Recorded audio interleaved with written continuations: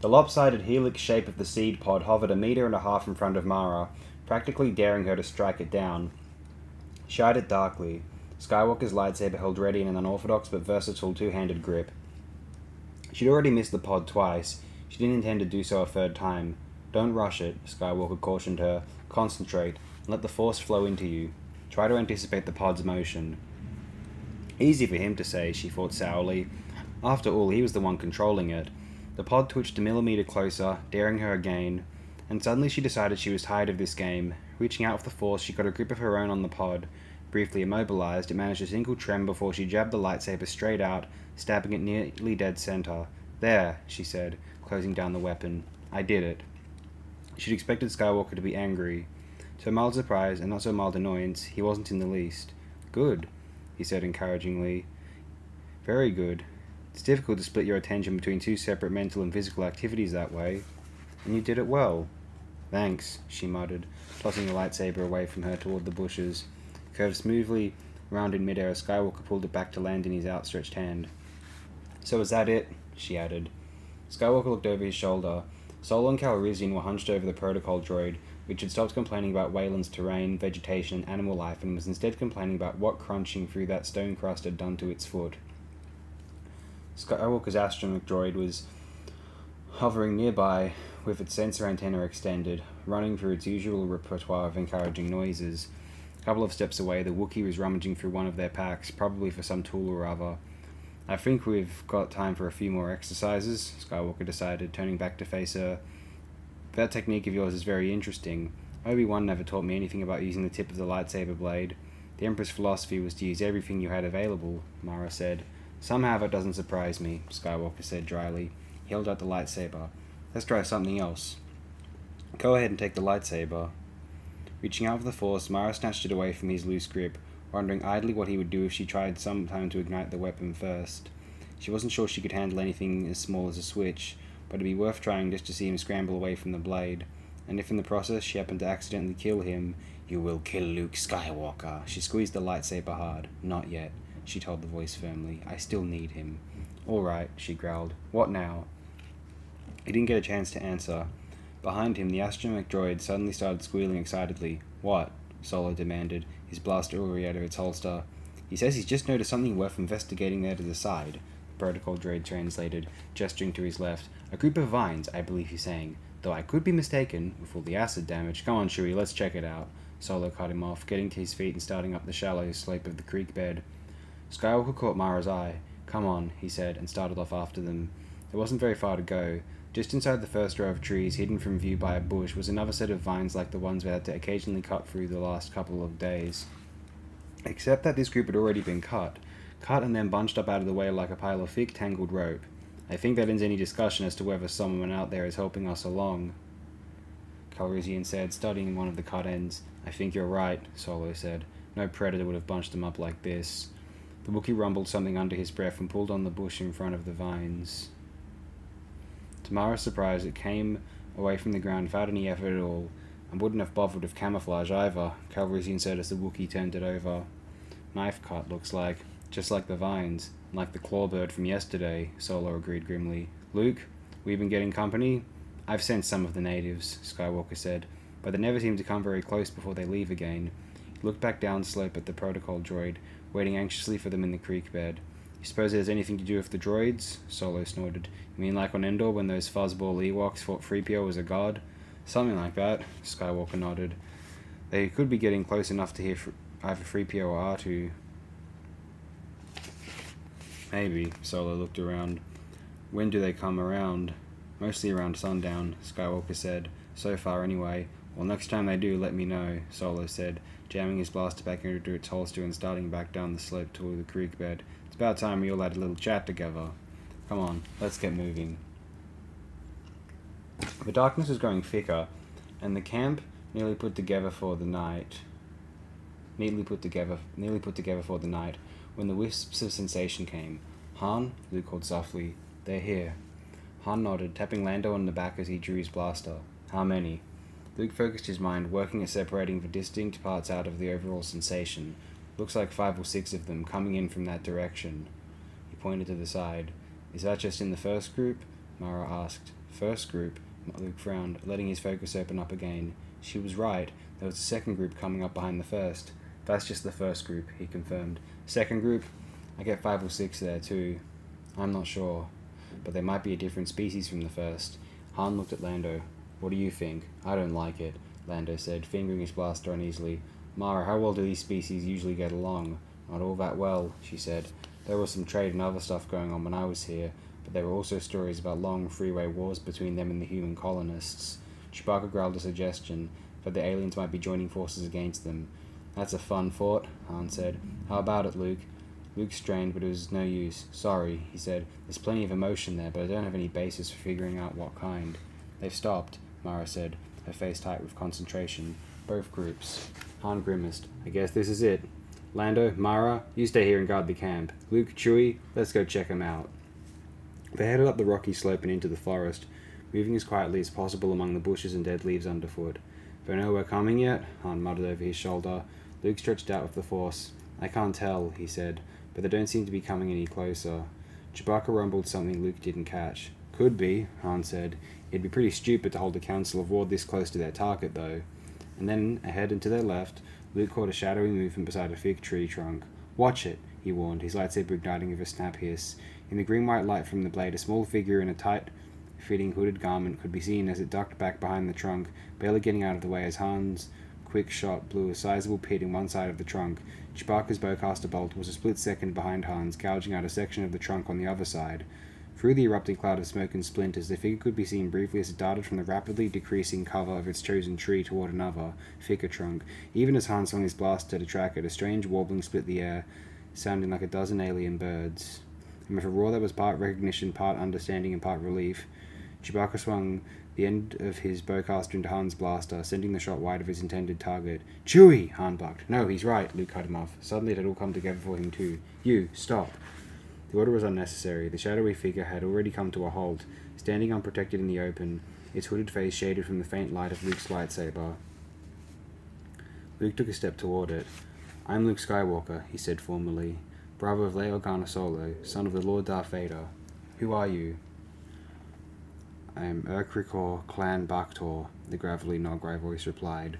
I greet you, son of Vader. The clearing Ekhrikhor led them to was close, only twenty meters or so further along the vector Luke had started them on in the first place. The aliens are there, all right. Two different types, five of each, standing on the far side of a thick fallen tree trunk. On the near side stood two more Noghri in those camouflaged outfits of theirs with the hoods thrown back. Propped up on the log between the two sides was some sort of compact work light, giving off just enough of a glow for Han to pick out the details of the nearest aliens. It wasn't very encouraging. The group on the right were a head taller than the Noghri facing them and maybe a head shorter than Han. Covered with lumpy plates, they looked more like walking rock piles than anything else. The group on the left were nearly as tall as Chewbacca, with four arms each and a shiny bluish crystal skin that reminded Han of the brownish thing that had to shoot off 3PO their first day here. Friendly looking bunch, he muttered to Luke as their group moved toward the last line of trees between them and the clearing. They are the Myneyrshi and Psadans, Ekhrikhor said. They have been seeking to confront you. And you've been driving them off? Luke asked. They sought to confront, the Noghri repeated. We could not permit that. They stopped just inside the clearing. A rustle ran through the aliens, one that didn't sound all that friendly. I get the feeling we aren't all that welcome, Han said. Luke? Beside him, he felt Luke shake his head. I still can't read anything solid, he said.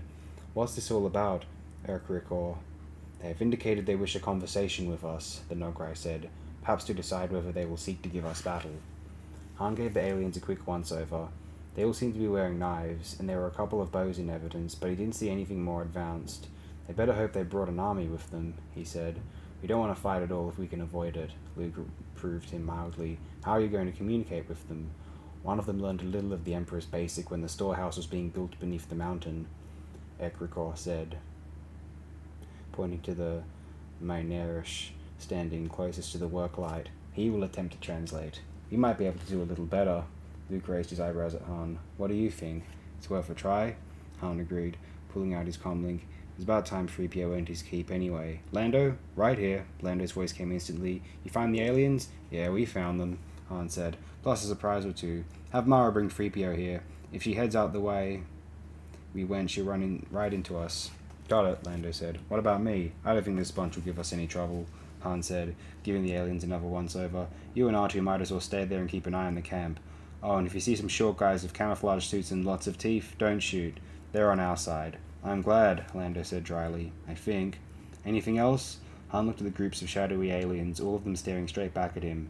Yeah, cross your fingers. We might be able to pick up some allies, or else a whole lot of trouble down the road. Right, Mara and 3PO are on their way. Good luck. Thanks. Shutting off the comlink, Han returned it to his belt. They're coming, he told Luke. There is no need for them to guard your camp, Ekhrikhor said. The Noghri will protect it. That's okay, Han said. It's getting crowded enough here as it is. He eyed Ekhrikhor. So I was right. We were followed in. Yes, Ekhrikhor said, bowing his head. And for that deception I beg your forgiveness, consort of the Lady Vader. I and others did not feel it entirely honourable, but Cakhmaim clan Eikh'mir wished our presence to be kept hidden from you. Why? Ekhrikhor bowed again. Cakhmaim clan Eikh'mir felt hostility from you in the Lady Vader's suite, he said. He believed you would not willingly accept the guard of Noghri to accompany you. Han looked at Luke, caught the kid's halfway tried, hiding a grin. Well, next time you see Cakhmaim, you tell him that I stopped passing up free help years ago, he told Ekhrikhor. But as long as we're discussing hostility, you can knock off that consort of the Lady Vader stuff. Call me Han, or Solo, or Captain, or practically anything else. Han Clan Solo, maybe, Luke murmured. Ekhrikhor brightened. That is good, he said. We beg your forgiveness, Han Clan Solo. Han looked at Luke. I think you've been adopted, Luke said, fighting that grin again. Yeah, Han said. Thanks. A lot. A little rapport never hurts, Luke pointed out. Remember Endor? I'm not likely to forget, Han growled, feeling his lip twist. Sure, the little fuzzballs had, a, they had done their bit in that final battle against the second Death Star. That didn't change the fact that being made part of an Ewok tribe was one of the more ridiculous things he'd ever had to go through. Still, the Ewoks had overwhelmed the Imperial troops by sheer weight of numbers. The Noghri, on the other hand, how many of you are there here? he asked Ekhrikhor. There are eight, the other replied. Two each have travelled before, after, and on either side of you during your journey. Han nodded, feeling a grudging trickle of unwilling respect for these things. Eight of them, silently killing or driving away predators and natives, day and night both, and still finding time on top of it to clear their path of nuisances like clawbirds and vine snakes. He looked down at er-. No, the adoption process didn't feel quite so ridiculous this time around. From somewhere behind them came a familiar shuffling sound. Han turned, and a moment later the equally familiar golden figure of 3PO traipsed, traipsed into view. Beside him and a half step behind was Mara, blaster in hand. Master Luke, 3PO called, his voice its usual mixture of relieved and anxious and just plain prissy. Over here, 3PO, Luke called back. Thank you. Think you can do some translation for us? I'll do my best, the droid said. As you know, I am fluent in over six million forms of communicate. I see you found the natives. Mara cut him off, giving the group by the log a quick survey she and 3PO stepped into the clearing. Her eyes fell on Ekhrikhor, and a little surprised, too, she added, her blaster quietly shifting its aim toward the Noghri. It's all right. He's a friend, Luke assured her, reaching toward her blaster. I don't think so, Mara said, twitching the weapon to the side, out of reach. They're Noghri. They work for Thrawn. We serve him no longer, Ekrikor told her. That's true, Mara. They don't, Luke said. Maybe, Mara said. She still wasn't happy about it, but at least her blaster wasn't pointing exactly at Ekhrikhor anymore. Across the clearing, the Mynarish nearest the log pulled what seemed to be a bleached white stuffed clawbird from a shoulder pouch. Speaking inaudibly under his breath, he laid it in front of him beside the work light. What's that? Han asked. Lunch? It is called the Satna Chaka, Ekhrikhor said. It is a bond of peace while this meeting lasts. They are ready to begin. You, 3PO droid, come with me. Of course, 3PO said, not sounding exactly thrilled by the whole arrangement. Master Luke, I'll come with you, Luke soothed. Han, Chewie, you stay here. No argument from me, Han said. With a clearly reluctant 3PO in tow, Luke and the Noghri headed toward the log. The head, Mynarish, raised its upper two hands over his head, palm inwards. Bidesi Chara, he said, his voice surprisingly melodious. Launu Barema Duknu Fairy.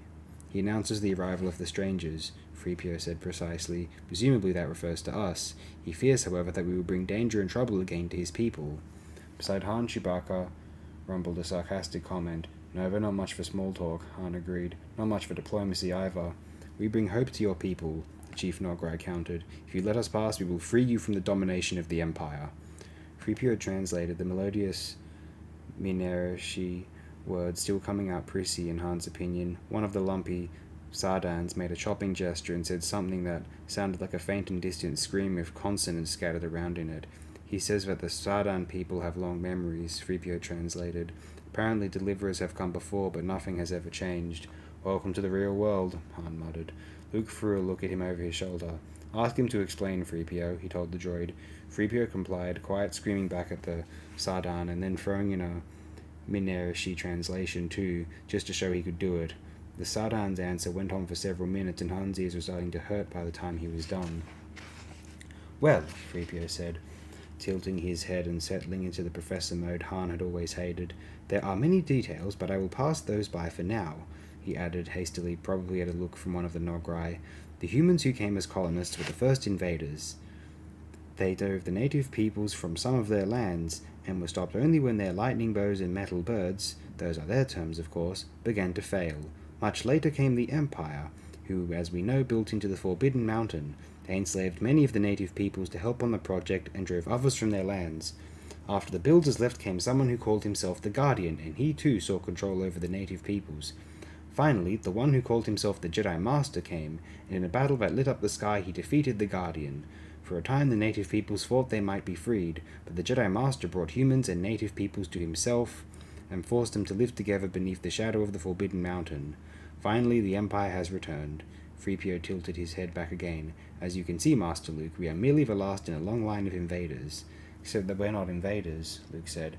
We're here to free them from the rule of the Empire. I understand that, Master Luke. I know you do, Luke interrupted the droid. Tell them that. Oh, yes, of course. He started into this translation. You ask me, I don't think they've had it all that bad, Han muttered to Chewbacca. The Empire took whole planets away from some people. Primitives always have this reaction to visitors, Mara said. They usually have long memories, too. Yeah, maybe. Suppose that Jedi Master they were talking about was your pal Zavayoff? Who else? Mara said grimly. This must be where Thrawn found him. Han felt his stomach tighten. You think he's here now? I don't sense anything, Mara said slowly. Doesn't mean he can't come back. The head, Minarish, was talking again. Han let his gaze drift around the clearing. Were there other Myneyrshi and Psadans out there keeping an eye on the big debate? Luke hadn't said anything about backups, but they'd have to be crazy not to have them somewhere nearby. Unless Ekhrikhor's pals had already taken care of them. If this didn't work, it could turn out to be handy having the Noghri around. The Minarish finished its speech. I'm sorry, Master Luke, Freepio apologized. They say they have no reason to assume we are any different from all those they have already spoken of. I understand their fears, Luke nodded. Ask them how we can prove our good intentions. Freepio started to translate, and as he did so, a hard Wookiee elbow jabbed into Han's shoulder. What? Han asked. Chewbacca nodded toward his left, his bowcaster already up and tracking. Han followed the movement of his eyes. Uh-oh. What is it? Mara demanded. Han opened his mouth. Then suddenly there wasn't time to tell her. The wiry predator Chewbacca had spotted, slinking through the tree branches, had stopped slinking and was coiling itself to spring at the discussion group. Look out! he snapped instead, bringing his blaster up. Chewbacca was faster. With Wookiee Hunter's roar, he fired the bowcaster bolt, slicing the predator nearly in half. It fell off its perch, crunching into the dead leaves, and lay still. And over by the log, the whole group of Myneyrshi snarled. Watch it, Chewie, Han warned, shifting his aim toward the aliens. That might have been a mistake, Mara said tensely. You're not supposed to fire weapons at a truce conference. You're not supposed to let the conference get eaten either, Han retorted. Beside the Myneyrshi, the five Psadans had started to shake, and he hoped Ekhrikhor's pals had the rest of the area covered. Freepio, tell them. Certainly, Captain Solo, Freepio said, uh, sounding about as nervous as Han felt. Molan Sar, the head Minarish cut him off with a chopping motion of his two left arms. You, he warbled in passable basic, jabbing all four hands at Han. He have lightning bow? Han frowned at him. Of course Chewbacca had a weapon, so did all the rest of them. He glanced up at the Wookiee. Suddenly he understood. Yes, he has, he told the Minarish, lowering his blaster. He's our friend. We don't keep slaves like the Empire did. Freepio started into his translation. but the main Erishi was already jabbering away to his friends. Nice work, Mara murmured. I hadn't thought of that. But you're right.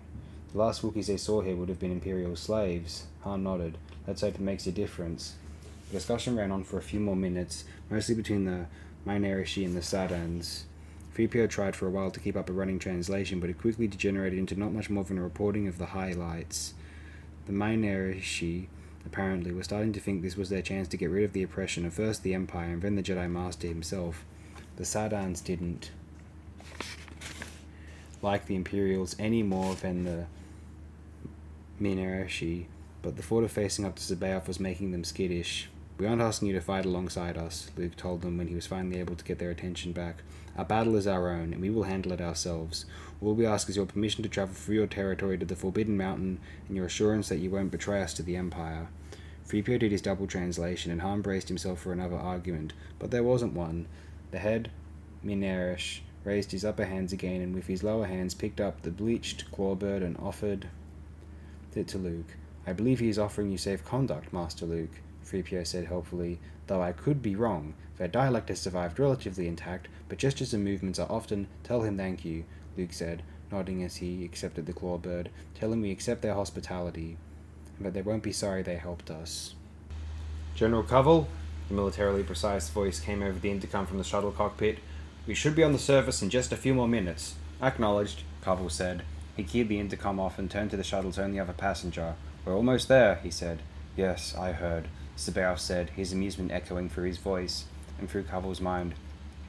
Tell me, General Covell, or at the end of our voyage, or at the beginning? The beginning, of course, Covell told him. The voyage we have set upon will have no end. What of Grand Admiral Thrawn? Covell felt a frown crease his forehead. He hadn't heard this question before, at least not said this particular way, but even as he hesitated, the answer came soothingly into his thoughts, as all answers did now. It's the beginning of Grand Admiral Thrawn's ending, he said. C'baoth laughed softly, the amusement rippling pleasantly through Covell's mind. Covell thought about asking what was funny, but it was easier and far more agreeable to just sit back and enjoy the laughter. And anyway, he knew perfectly well what it was that was funny. You do, don't you? C'baoth agreed, shaking his head. Ah, General, General. It's so very ironic, isn't it? From the very beginning, from that very first meeting in my city, Grand Admiral has had the answer within his grasp, and yet even now he is as far from understanding as he was then. Is it about power, Master C'baoth? Covell asked. This was a familiar topic, and even without the prompting in his mind he would have remembered his lines. It is indeed, General Covell, C'baoth said gravely. I told him at the very beginning that true power didn't lie in the conquering of distant worlds, or in battles and war and the crushing of faceless rebellions. He smiled, his eyes glittering bright in Covell's mind. No, General Covell, he said softly, this, this is true power. Holding another's life in the palm of your hand. Having the power to choose his path and his thoughts and his feelings, to rule his life and decree his death. Slowly, theatrically, C'baoth held out his hand, palm upward, to command his soul, something not even the Emperor ever understood, Covell reminded him. Another ripple of pleasure rolled through Covell's mind. It was so satisfying to see the Master enjoying his game. Not even the Emperor, C'baoth agreed, his eyes and thoughts drifting far away. He, like the Grand Admiral, saw power only as how far outside himself he could reach, and it destroyed him, as I could have told him it would. For if he truly commanded Vader, he shook his head. In many ways he was a fool, but perhaps it was not his destiny to be otherwise. Perhaps it was the will of the universe that I, and I alone, would understand. For only I have both the strength and the will to grasp hold of this power, the first, but not the last. Covell nodded, swallowing against a dry throat. It was not pleasant when C'baoth left him like this, even for a little bit, especially not when there was this strange loneliness along with it. But of course the master knew that, do you ache with my loneliness, General Covell? he said, warming Covell's mind with another smile. Yes, of course you do, but be patient. The time is coming when we shall be many, and when that time is here, we will never be lonely again. Observe. He felt the distant sense as he did all others now, filtered and focused and structured through the Master's perfect mind. You see, I was right, C'baoth said, reaching out to examine that sense. They are here. Skywalker and Jade both. He smiled at Covell. They will be the first, General Covell the first of our many. For they will come to me, and when I have shown to them the true power, they will understand and will join us. His eyes drifted away again. Jade will be the first, I think, he added thoughtfully. Skywalker has resisted once, and will resist again, but the key to his soul is even now waiting for me in the mountain below. But Jade is another matter.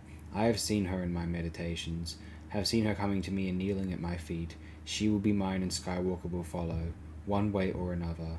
He smiled again. Covell smiled back, pleased at the master's own pleasure and by the thought of others who would be there to warm his mind. And then, without any warning, it all went dark. Not loneliness, not the way it had been, but a sort of emptiness. By and by, he felt his head being roughly lifted by his chin. C'baoth was there, in a way, staring into his eyes. General Covell! The master's voice thundered. Thundered strangely, too. Covell could hear it, but it wasn't really there. Not like it should have been. Can you hear me? I can hear you, Covell said. His own voice sounded strange, too. He looked past C'baoth's face to the interesting pattern of lines on the shuttle bulkhead. He felt himself being shaken. Look at me, C'baoth demanded. Covell did so. That was odd, too, because he could see the master, but he wasn't really there. Are you still there? The master's face changed. Something, was it called a smile, came across it. Yes, General, I am here. The distant voice said, I no longer touch your mind, but I am still your master. You will continue to obey me. Obey. An odd concept, Covell thought. Not like simply doing what was natural. Obey? You will do as I tell you, C'baoth said. I will give you things to say and you will repeat every word. All right, Covell said. If you do that, will you come back? I will, the master promised. Despite Grand Admiral Thrawn's treachery, with your obedience, if you're doing what I tell you, we will together destroy his betrayal of us. And then we will never be apart again. The emptiness will be gone? Yes, but only if you do what I say. The other men came a little later. The master stayed at his side the whole time, and he said all the words the master told him to say. They all went somewhere, and then the men left, and the master left too. He stared off across the place they'd left him in, watching the patterns of lines and listening to the emptiness all around him. Eventually he fell asleep. A strange sort of bird call warbled off in the distance, and instantly the background crackle of insects and scuttling animals ceased. But apparently there was no immediate danger, and a minute later the nighttime sounds and activity resumed. Shifting her position against her chosen tree trunk, Mara eased her aching back muscles and wished this whole thing was over. There is no need for you to stay awake, a soft Noghri voice said at her shoulder. We will guard. Thanks, Mara said shortly. If it's all the same to you, I'll do my job. The Noghri was silent for a moment. You still do not trust us, do you? Actually, she hadn't thought all that much about it one way or the other. Skywalker trusts you, she said. Isn't that good enough? It is not approval we seek, the Noghri told her, only the chance to repay our debt. She shrugged. They'd protected the camp, they'd tackled the always tricky job of first contact with the Myneyrshi and Psadans, and now here they were protecting the camp again. If it's a debt to the New Republic, I'd say you're doing a pretty good job of it, she conceded. You finally figured out Thrawn and the Empire had been stringing you along? There was a quiet click, like needle teeth coming together. You knew about that? I heard rumors, Mara said, recognizing how potentially dangerous this ground was, but not really caring. More like jokes, really. I never knew how much of it was true. Most likely all of it, the Noghri said calmly. Yes, I can see how our lives and deaths could be amusing to our enslavers. We will convince them otherwise. Not white hot rage, no fanatical hatred, just a simple icy determination, about as dangerous as you could get. How are you going to do that? she asked. When the time is right, the Noghri will turn upon their enslavers some on Imperial worlds, some on transporting ships, and five groups will come here. Mara frowned. You knew about Wayland? Not until you led us here, the other said. But we know now. We have sent the location to those waiting at Coruscant. By now they will have passed the word on to others. Mara nodded quietly. You have a lot of confidence in us, don't you? Our missions complement each other, but Noghri assured her, his gravelly mewing somehow sounding grimmer. You have set for yourselves the task of destroying the cloning facility. With the help of the Son of Vader, we do not doubt you will succeed. For ourselves, the Noghri have chosen the task of eliminating every last reminder of the Emperor's presence on Wayland. Probably the last relics of the Emperor's presence anywhere. Mara turned that idea over in her mind, wondering why it didn't seem to grieve or anger her. Probably she was just tired. Sounds like a big project, she said instead. Who is the son of Vader you're expecting to show up and help us? There was a brief silence. The son of Vader is already with you, Noghri said, sounding puzzled. You serve him, as do we. Mara stared at him through the darkness, and suddenly her heart seemed to freeze in her chest. You mean Skywalker? You did not know? Mara turned away from him, staring down at the sleeping form no more than a meter away from her feet, a horrible numbness flooding through her. Suddenly, finally, all these years, the last elusive piece had fallen into place.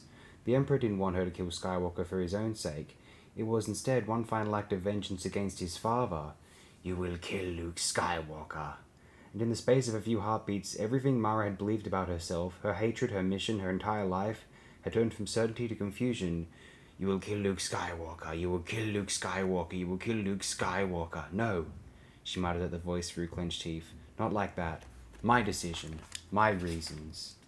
But the voice continued unabated. Perhaps it was her resistance and defiance fueling it now, or perhaps the deeper power and the force that Skywalker had given her over the past few days had made her more receptive to it. You will kill Luke Skywalker. You will kill Luke Skywalker.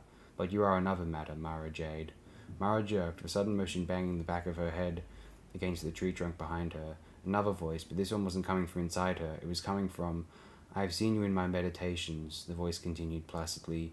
I have seen you coming to me and kneeling at my feet. You will be mine, and Skywalker will follow, one way or another. Mara shook her head violently, trying to shake away the words and thoughts. The second voice seemed to laugh. Then suddenly the words and laughter disappeared beneath a distant but steady pressure against her mind.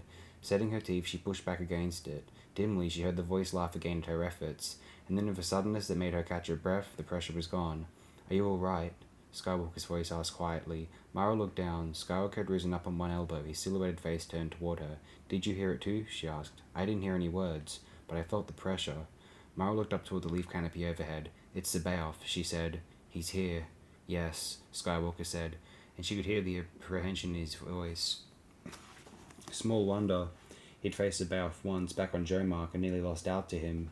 So what now? Mara asked, rubbing at the sweat around her mouth with a shaking hand. We abort the mission? The silhouette shrugged. How? We're only a couple of days from the mountain. It'd take us a lot longer than that to get back to the Falcon, except that the Imperial's nowhere here now. Maybe, Skywalker said slowly, but maybe not. Did the contact cut off suddenly for you too? She frowned, and suddenly it hit her. You think they moved some ysalamiri around him? Or else strapped him into one of those frames you were using on Jomark, Skywalker said. Either way, it would imply he was a prisoner. Mara thought about that. If so, he might not be interested in telling his captors about the invaders moving toward the mountain. She looked sharply at him as another thought suddenly occurred to her. Did you know C'baoth was going to come? she demanded. Is that why you wanted me to practice my old Jedi training? I didn't know he'd be here, Skywalker said, but I knew we would eventually have to face him again. He said that himself on Jomark. Mara shivered, kneeling at my feet. I don't want to face him, Skywalker. Neither do I, he said softly, but I think we have to. He sighed, and then quietly he peeled off the top of his bedroll and got to his feet. Why don't you go get some sleep? he said, stepping over to her side. I'm awake now anyway, and you took the brunt of that attack. All right, Mara said, too tired to argue. If you need any help, call me. I will. She picked her way across Calrissian and the Wookiee to her bedroll and crawled into it. Her last memory as she dropped off to sleep was of the voice in the back of her mind. You will kill Luke Skywalker. The report came in from Mount Tantiss during ship's night and was waiting for him when Pellaeon arrived on the bridge in the morning. The Draclau had reached Wayland more or less on schedule six hours previously, had offloaded his passengers, and had left the system bound for Val- as per orders. General Covell had refused to take command until local morning. Pellaeon frowned. Refused to take command? That didn't sound like Covell. Captain Pellaeon, the com officer called up to him. Sir, we're getting a holo transmission from Colonel Sellard on Wayland. It's marked urgent. Put it through to the aft bridge hologram pod, Pellaeon instructed getting up from his command chair and heading aft. Signal the Grand Admiral to. Never mind. He interrupted himself as, through the archway, he spotted Thrawn and Rukh coming up the steps into the aft bridge. Thrawn saw him too. What's wrong, Captain? Urgent message from Wayland, sir, Pellaeon said, gesturing toward the hologram pod. The image of an Imperial officer was already waiting, and even in a quarter-size holo, Pellaeon could see the younger man's nervousness. Probably C'baoth, Thrawn predicted darkly. They reached position in front of the hologram pad, and Thrawn nodded to the image. Colonel Sellard, this is Grand Admiral Thrawn. Report. Sir, Sellard said, his parade ground posture stiffening even more. I regret to inform you, Admiral, of the sudden death of General Covell. Pellaeon felt his mouth fall open a couple of centimeters. How? he asked. We don't know yet, sir, Sellard said. He apparently died in his sleep. The medics are still running tests, but so far all they can suggest is that large portions of the General's brain had simply shut down. Brain tissue does not simply shut down, Colonel, Thrawn said. There has to be a reason for it.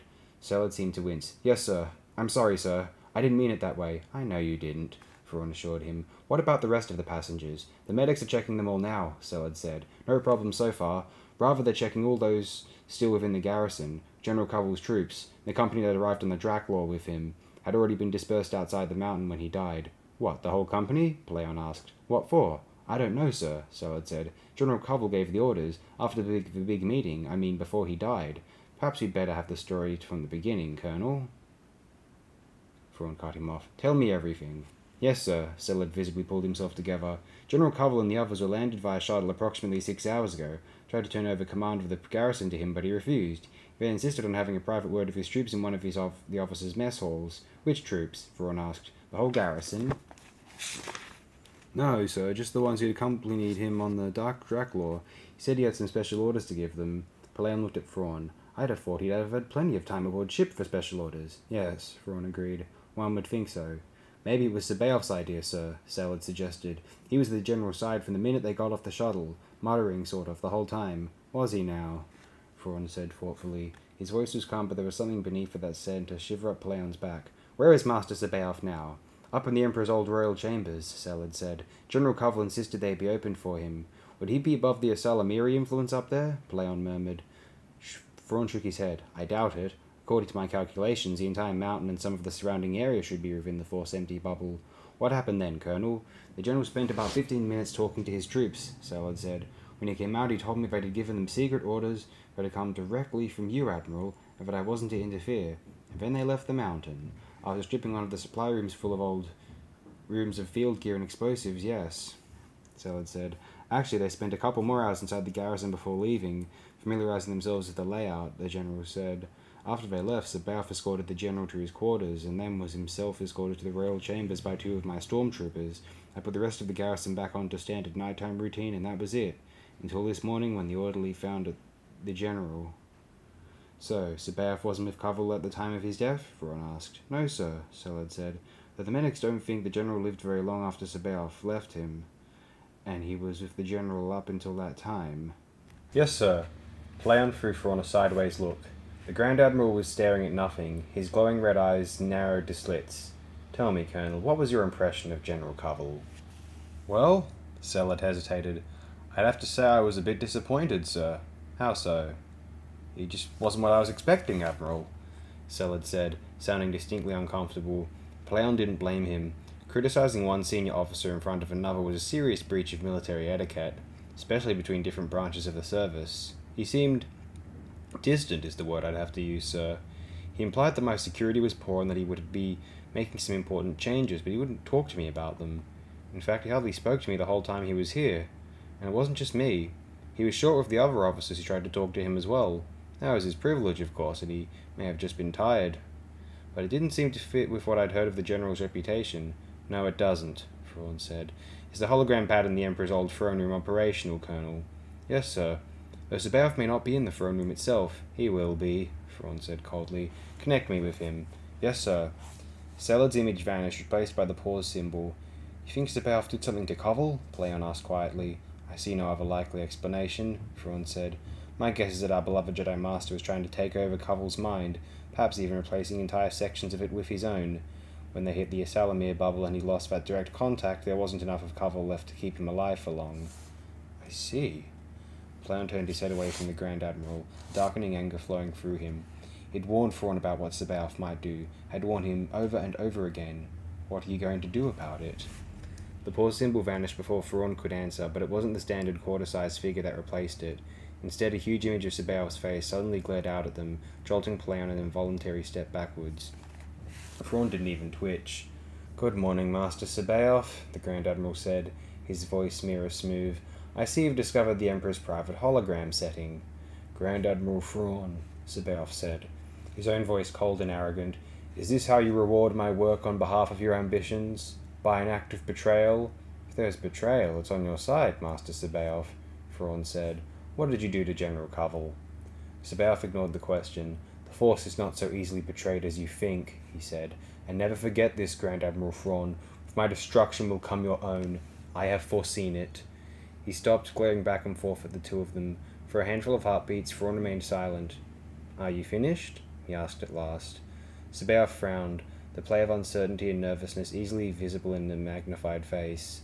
For all its intimidating majesty, the Emperor's personal hologram setting clearly had its own set of drawbacks. For now, C'baoth said.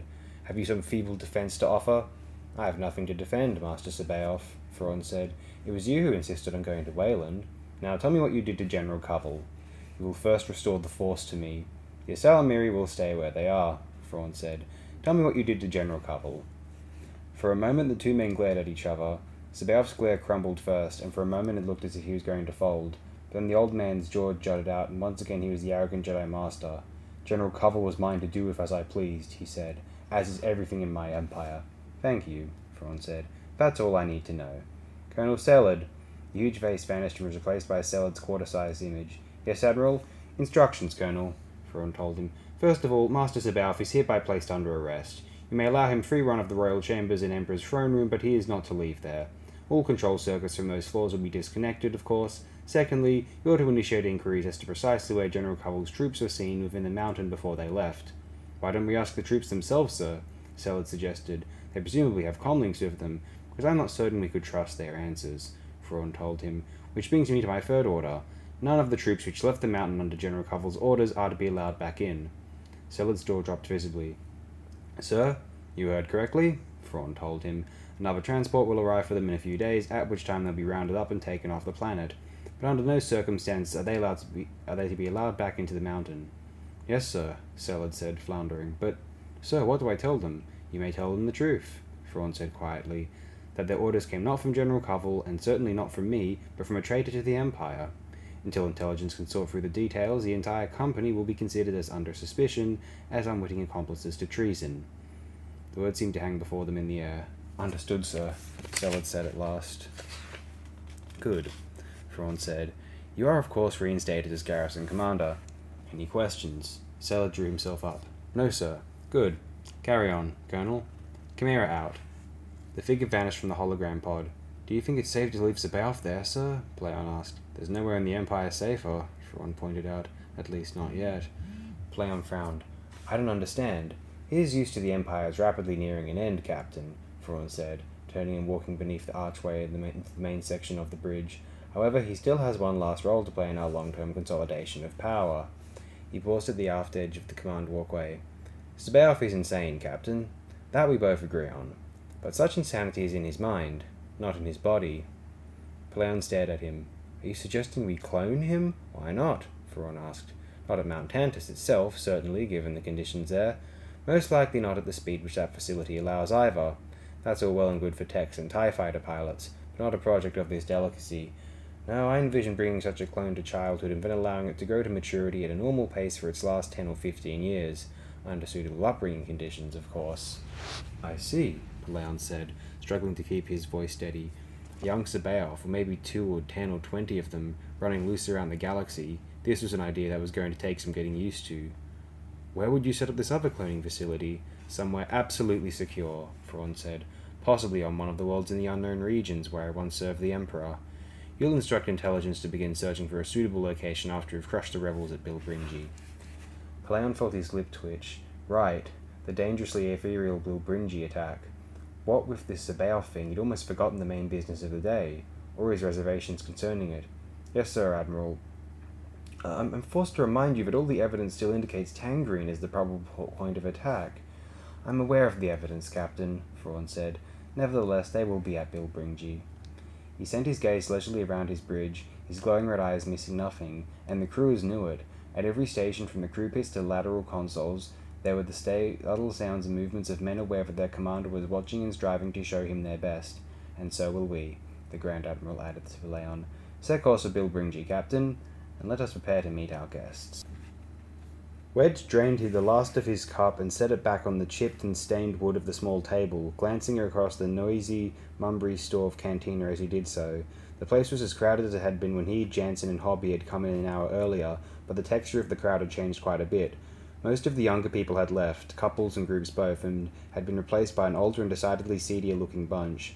The fringe types were drifting in, which meant it was time for them to be drifting out. His fellow Rogue Squadron pilots knew it too. Time to go? Hobbie suggested, his voice just audible over the noise. Right, Wedge nodded, getting to his feet and fumbling in his pouch for a coin that would cover this last round. His civilian pouch, and he really hated the awkward things, it would hardly do for them to go wandering around town in full New Republic uniforms, complete with the distinctive Rogue Squadron patches. He found a proper sized coin and dropped it into the center of the table as the other stood up. Where to now? Janson asked, hunching his shoulders slightly to stretch out his back muscles. Back to the base, I think, Wedge told him. Good, Janson grunted. Morning's going to come early enough as it is. Wedge nodded as he turned and headed toward the exit. Morning could come any time it wanted to, of course. Well before then, they were going to be off this planet and driving hard toward their assigned rendezvous point outside the Bilbringi shipyards. They wove their way between the crowded tables, and as they did so, a tall, thin man shoved his chair back almost into Wedge's knees and got unsteadily to his feet. Watch out, he slurred, half turning to throw his arm across Wedge's shoulders and much of his weight against Wedge's side. Easy, friend. Wedge grunted, struggling to regain his balance. Out of the corner of his eye, he saw Janson step to the tall man's other side and put a supporting arm around him. Easy sounds good to me, the man murmured, the slurring abruptly gone as his arm tightened around Wedge's shoulders. All four of us, nice and easy now. Let's help the poor old drunk out of here. Wedge stiffened, tracked, blindsided, and caught, and in the flip of an X-wing they had suddenly gone from a simple night in the town to serious trouble. With him and Janson tangled up like this, only Hobbie was left of a clear gun hand and their assailants surely hadn't forgotten to have some backup around. The tall man must have felt Wedge's tension. Hey, play it smooth, he admonished quietly. Don't remember me, huh? Wedge frowned at the face practically leaning against his. It didn't look familiar, but on the other hand, at this range he probably wouldn't recognize his own mother. Should I? murmured back. The other did so. The other did a little more staggering. I'd have thought so, he said in an injured voice. You got up against a star destroyer of someone, he ought to remember you, especially out in the middle of nowhere. Wedge frowned a little harder at the face, dimly aware that the whole group had started walking in the middle of nowhere, and suddenly it hit him the Katana fleet and Talon Karrde's people coming out of nowhere to lend their assistance and firepower against the Imperials, and afterwards the brief, preoccupied introductions about the Star Cruiser. Aves? That wasn't so hard, was it? The other said approvingly. Told you you couldn't do it if you tried. Come on now, nice and easy, and don't let's draw any more attention to ourselves than we need to. There didn't seem to be any real option other than to comply, but even as Wedge continued toward the exit, he kept his eyes moving, looking for something they could use to get them out of this. Karrde and his people had supposedly agreed to funnel information back to the New Republic, but that was a far way from being allies together. And if the Empire had threatened them, or just bought them outright, but no opportunity for escape presented itself before they got out the doors. This way, Aves said, abandoning his drunk act and hurrying down the dimly lit and sparsely populated street. Janson caught Wedge's eye and raised his eyebrows questioningly, Wedge shrugged slightly in return and set off after Aves. Could still be some sort of trap, but at this point the vague fears were being rapidly overtaken by simple curiosity. Something was going on, and he wanted to find out what. He didn't have long to wonder about it. Two buildings down from the Mumbri stove, Aves turned and disappeared into a darkened entryway. Wedge followed, half expecting to run into a half dozen blaster muzzles. But Aves was alone. What now? he asked as Janson and Hobbie joined them. Aves nodded toward the street outside the entryway. Watch, he said. If I'm right, here he comes. Wedge looked. A walrus-faced Aqualish strode quietly by, quickly by, throwing a quick glance into the entryway as he passed. His stride broke, just noticeably, then he caught himself and picked up his pace. He passed the other side of the entryway. There was a muffled thud, and suddenly the Aqualish was back in the entryway, his slack and obviously unconscious form being supported by two grim-faced men. Any trouble? Aves asked. No, one of the men said as they dropped the Aqualish none too gently to the ground near the back of the entryway. They're a lot meaner than they are smart. This one was smart enough, Ave said. Take a good look at him, Antilles. Maybe next time you recognize an Imperial spy when you pick one up. Wedge looked down at the alien. An Imperial spy, huh? A freelancer, anyway, Ave shrugged. Just as dangerous.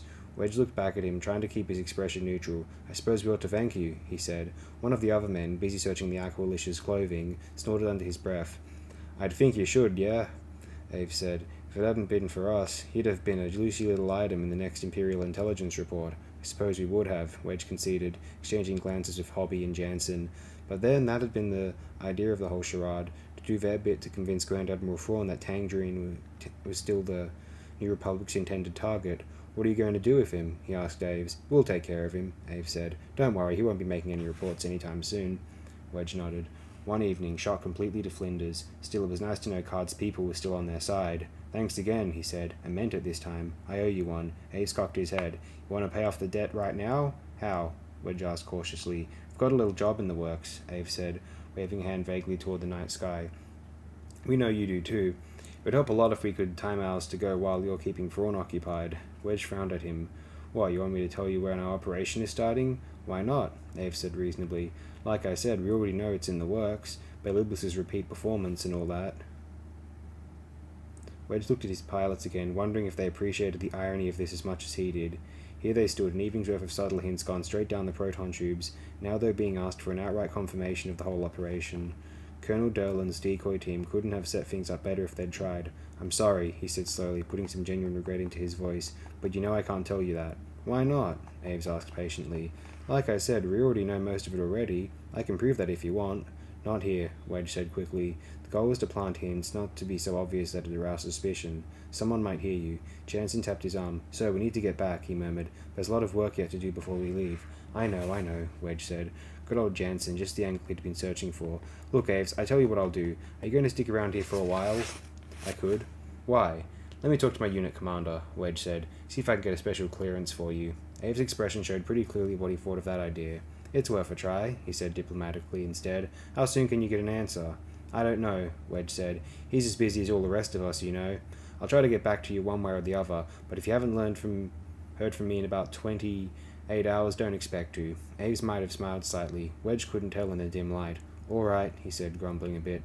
I suppose it's better than nothing. You can leave any messages with the night bartender at the Dona Laza Tap Cafe. Okay, Wedge said. We've got to go. Thanks again. Together, he and the other two pilots left the entryway and crossed the street. They were two blocks away before Hobbie spoke. Twenty-eight hours, huh? Pretty clever. I thought so.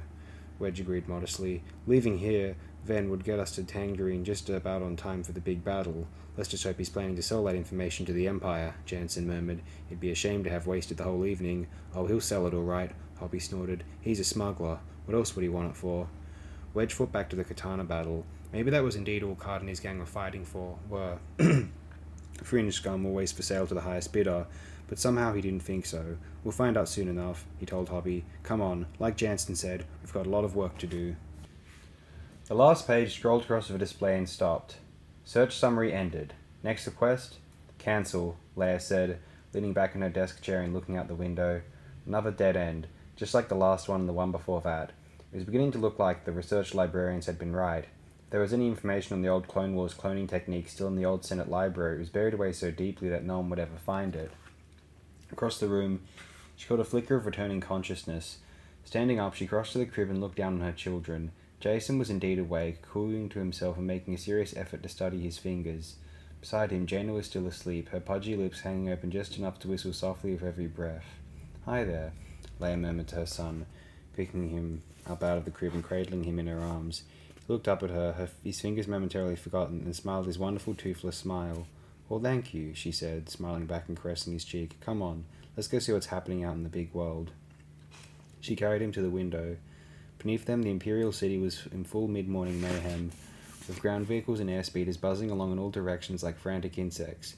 Beyond the city, the snow tipped peaks of the Manarai Mountains to the south were dazzling in the morning sunshine. Beyond the mountains, the sky was a deepened, cloudless blue, and beyond the sky, she shivered. Beyond the sky was a planetary energy shield, the Empire's invisible deadly asteroids. Jacen gurgled. Leia looked back down at him, found him studying her for what she could almost imagine to be concern. It's all right, she assured him, holding him a little closer and bouncing him gently at her arms. It's all right. We'll find them all and get rid of them. Don't you worry. Behind her, the door opened and Winter came into the room, a hover tray floating along in front of her. Your Highness, she greeted Leia in a soft voice, I thought you might like some refreshment. Yes, I would, thank you, Leia said, sniffing at the gentle aroma of spiced paricha rising from the pot on the tray. Anything happening downstairs? Nothing interesting, Winter said, pushing the tray over to a side table and starting to unload it. The search teams haven't found any new asteroids since yesterday morning. I understand General Bel Iblis has been suggesting they may already have cleared them all out. I doubt Admiral Drayson believes that. No, Winter agreed, holding out a steaming mug and waiting as Leia shifted Jacen to a one armed grip. Neither does Mon Mothma. Leia nodded as she accepted the mug. To be honest, she didn't really believe it herself. No matter how expensive these cloaking shields might be to produce, she couldn't see the Empire going to this much trouble for anything fewer than 70 cloaked asteroids. And there could easily be twice that many. The 21 they'd found hardly even scratched the surface. How is the research going? Winter asked, pouring a mug for herself. It's not, Leia had to admit. From one insoluble problem to another, it seemed. Though I don't know why that should surprise me. The Council research specialists have already been through all the records, and they didn't find anything. But you're a Jedi, Winter reminded her. You have the Force. Not enough of it, apparently. Leia shook her head. At least not enough to guide me to the right archive. If there is a right archive. I'm not sure anymore that there is. For a minute they sipped in silence. Leia savoured the soft flavour of the hot paricha, acutely aware that this could easily be her last taste of it for a while. All supplies of the root from which the drink was made had to be imported from off planet. I was talking to Mob Mobvekhar yesterday, Winter said into her thoughts. He said you'd spoken to him about a clue of some sort. Something that Mara Jade had said. Something that Mara said, coupled to something Luke did, Leia nodded. Yes, I remember, and I still think there's an important key in there somewhere. I just can't figure out what it is. At her wrist, her comlink beeped. I knew it couldn't last, Leia sighed, putting her mug down and pulling the comlink out. Mon Mothma had promised her a complete morning off. Obviously, that promise was about to be bent a little. Councillor Organa Solo? She said into the device, but it wasn't Mon Mothma. Councillor, this is Central Communications, a brisk military voice said. There's a civilian breeder called the Wild Karrde holding position just outside the sentry line. The captain insists on speaking with you personally. Do you want to talk to him, or shall we just go ahead and chase him out of the system? Sir Karrde had finally come to pick up his people. Ross had been listening to rumours and had decided to poke around Coruscant a little for himself. Either way, it was trouble. Better let me talk to him, she told the controller. Yes, Counselor. There was a quiet click. Hello, Karrde, Leia said. This is Leia Organa Solo. Hello, Counselor. Karrde's cool, well modulated voice replied. It's nice to talk to you again. I trust you received my package. Leia had to think back. Right, the macro-binocular record of the Ukio attack. Yes, we did, she acknowledged. Allow me to express the New Republic's gratitude. Your gratitude has already been amply expressed, Karrde said dryly. Were there any unpleasant repercussions over the payment arrangements? On the contrary, Leia said, bending the truth only a bit. We'd be happy to pay equivalent rates for more information of that quality. I'm glad to hear that, Karrde said. Are you by any chance also in the market for technology? Leia blinked. It wasn't a question she'd been expecting. What sort of technology? she asked. The semi-rare sort, he said. Why don't you give me clearance to come down and we'll discuss it? I'm afraid that won't be possible, Leia said. All non-essential traffic in and out of Coruscant has been restricted. Only the non-essential traffic? Leia grimaced. So he had been listening to rumours. What exactly have you heard? Assorted whispers only, he said. Only one of which really concerns me. Tell me about Mara. What about Mara? Leia asked guardedly. Is she under arrest? Leia threw a look at Winter. Karrde, this isn't something we should be discussing. Don't give me that. Karrde cut her off, his voice suddenly hard. You owe me. More to the point, you owe her. I'm aware of that, Leia countered, letting her own voice cool a degree or two. If you let me finish, this isn't something we should be discussing on an open channel. Ah, I see. If he was feeling any embarrassment over his mistake, it didn't show in his voice. Let's try this. Is Ghent available? He's around somewhere. Find him and get him on a terminal with com system access. Tell him to program in one of my personal encrypt codes. His choice. That should give us enough privacy. Leia thought about it. Should at least filter out casual eavesdropping by other civilian ships in the system. Whether any Imperial probe droids lurking out there would be fooled was another question. It's a start at least, she agreed. I'll go find him. I'll be waiting. The signal went silent. Trouble? Winter asked. Probably, Leia said. She looked down at Jacen, a strange tingling in the back of her mind. There it was again, the eerie feeling that a vital piece of information was hovering in the darkness just out of reach. Luke and Mara were involved with it, she'd already decided. Could Karrde be involved too? He's come to plead Mara's case. I don't think he's going to be happy to find her gone. Take care of the twins, please. I have to find Ghent and get down to the war room. The data checklist ran to the end and stopped. Looks okay, Ghent told Leia, peering at the display and making one final adjustment to the encrypt scheme. You're not going to lose more than a syllable here or there anyway. Go ahead. Just be careful what you say, Bel Iblis reminded her. There could still be probe droids out there listening in, and there's no guarantee the Imperials haven't broken Karrde's encrypt codes. Don't say anything they don't already know. I understand, Leia nodded. She sat down and tapped the switch under the comm officer indicated. We're ready here, Karrde. So am I. Karrde's voice came back. It sounded a bit lower in pitch than normal, but otherwise seemed to be coming through fine. Why is Mara under arrest? There was a break-in in by an Imperial commando team a few weeks ago, Leia said, choosing her words carefully. The leader of the team implicated Mara as an accomplice. That's absurd, Karrde scoffed. I agree, Leia said, but an accusation like that has to be investigated. And what have your investigators discovered? What some of us already knew, Leia said. That she was once a member of the Emperor's personal staff. Is that why you're still holding her? Karrde demanded. For things she might or might not have done years ago? We're not worried about her past, Leia said, starting to sweat a little. She hated misleading Karrde this way, particularly after all the assistance he'd given them, but if there were probe droids listening, she needed to make it look like Mara was still under suspicion. Certain members of the Council and High Command are concerned about her current loyalties, and those members are fools, Karrde booed out. I'd like to talk with her. I'm afraid that's impossible, Leia said. She's not being allowed access to external communications. There's a faint sound from the speaker, an encrypted glitch or a sigh, Leia couldn't tell which. Tell me why I can't land, Karrde said. I've heard the rumors. Tell me the truth. Leia looked up at Bel Iblis. There was a sour look on his face, but he gave a reluctant nod.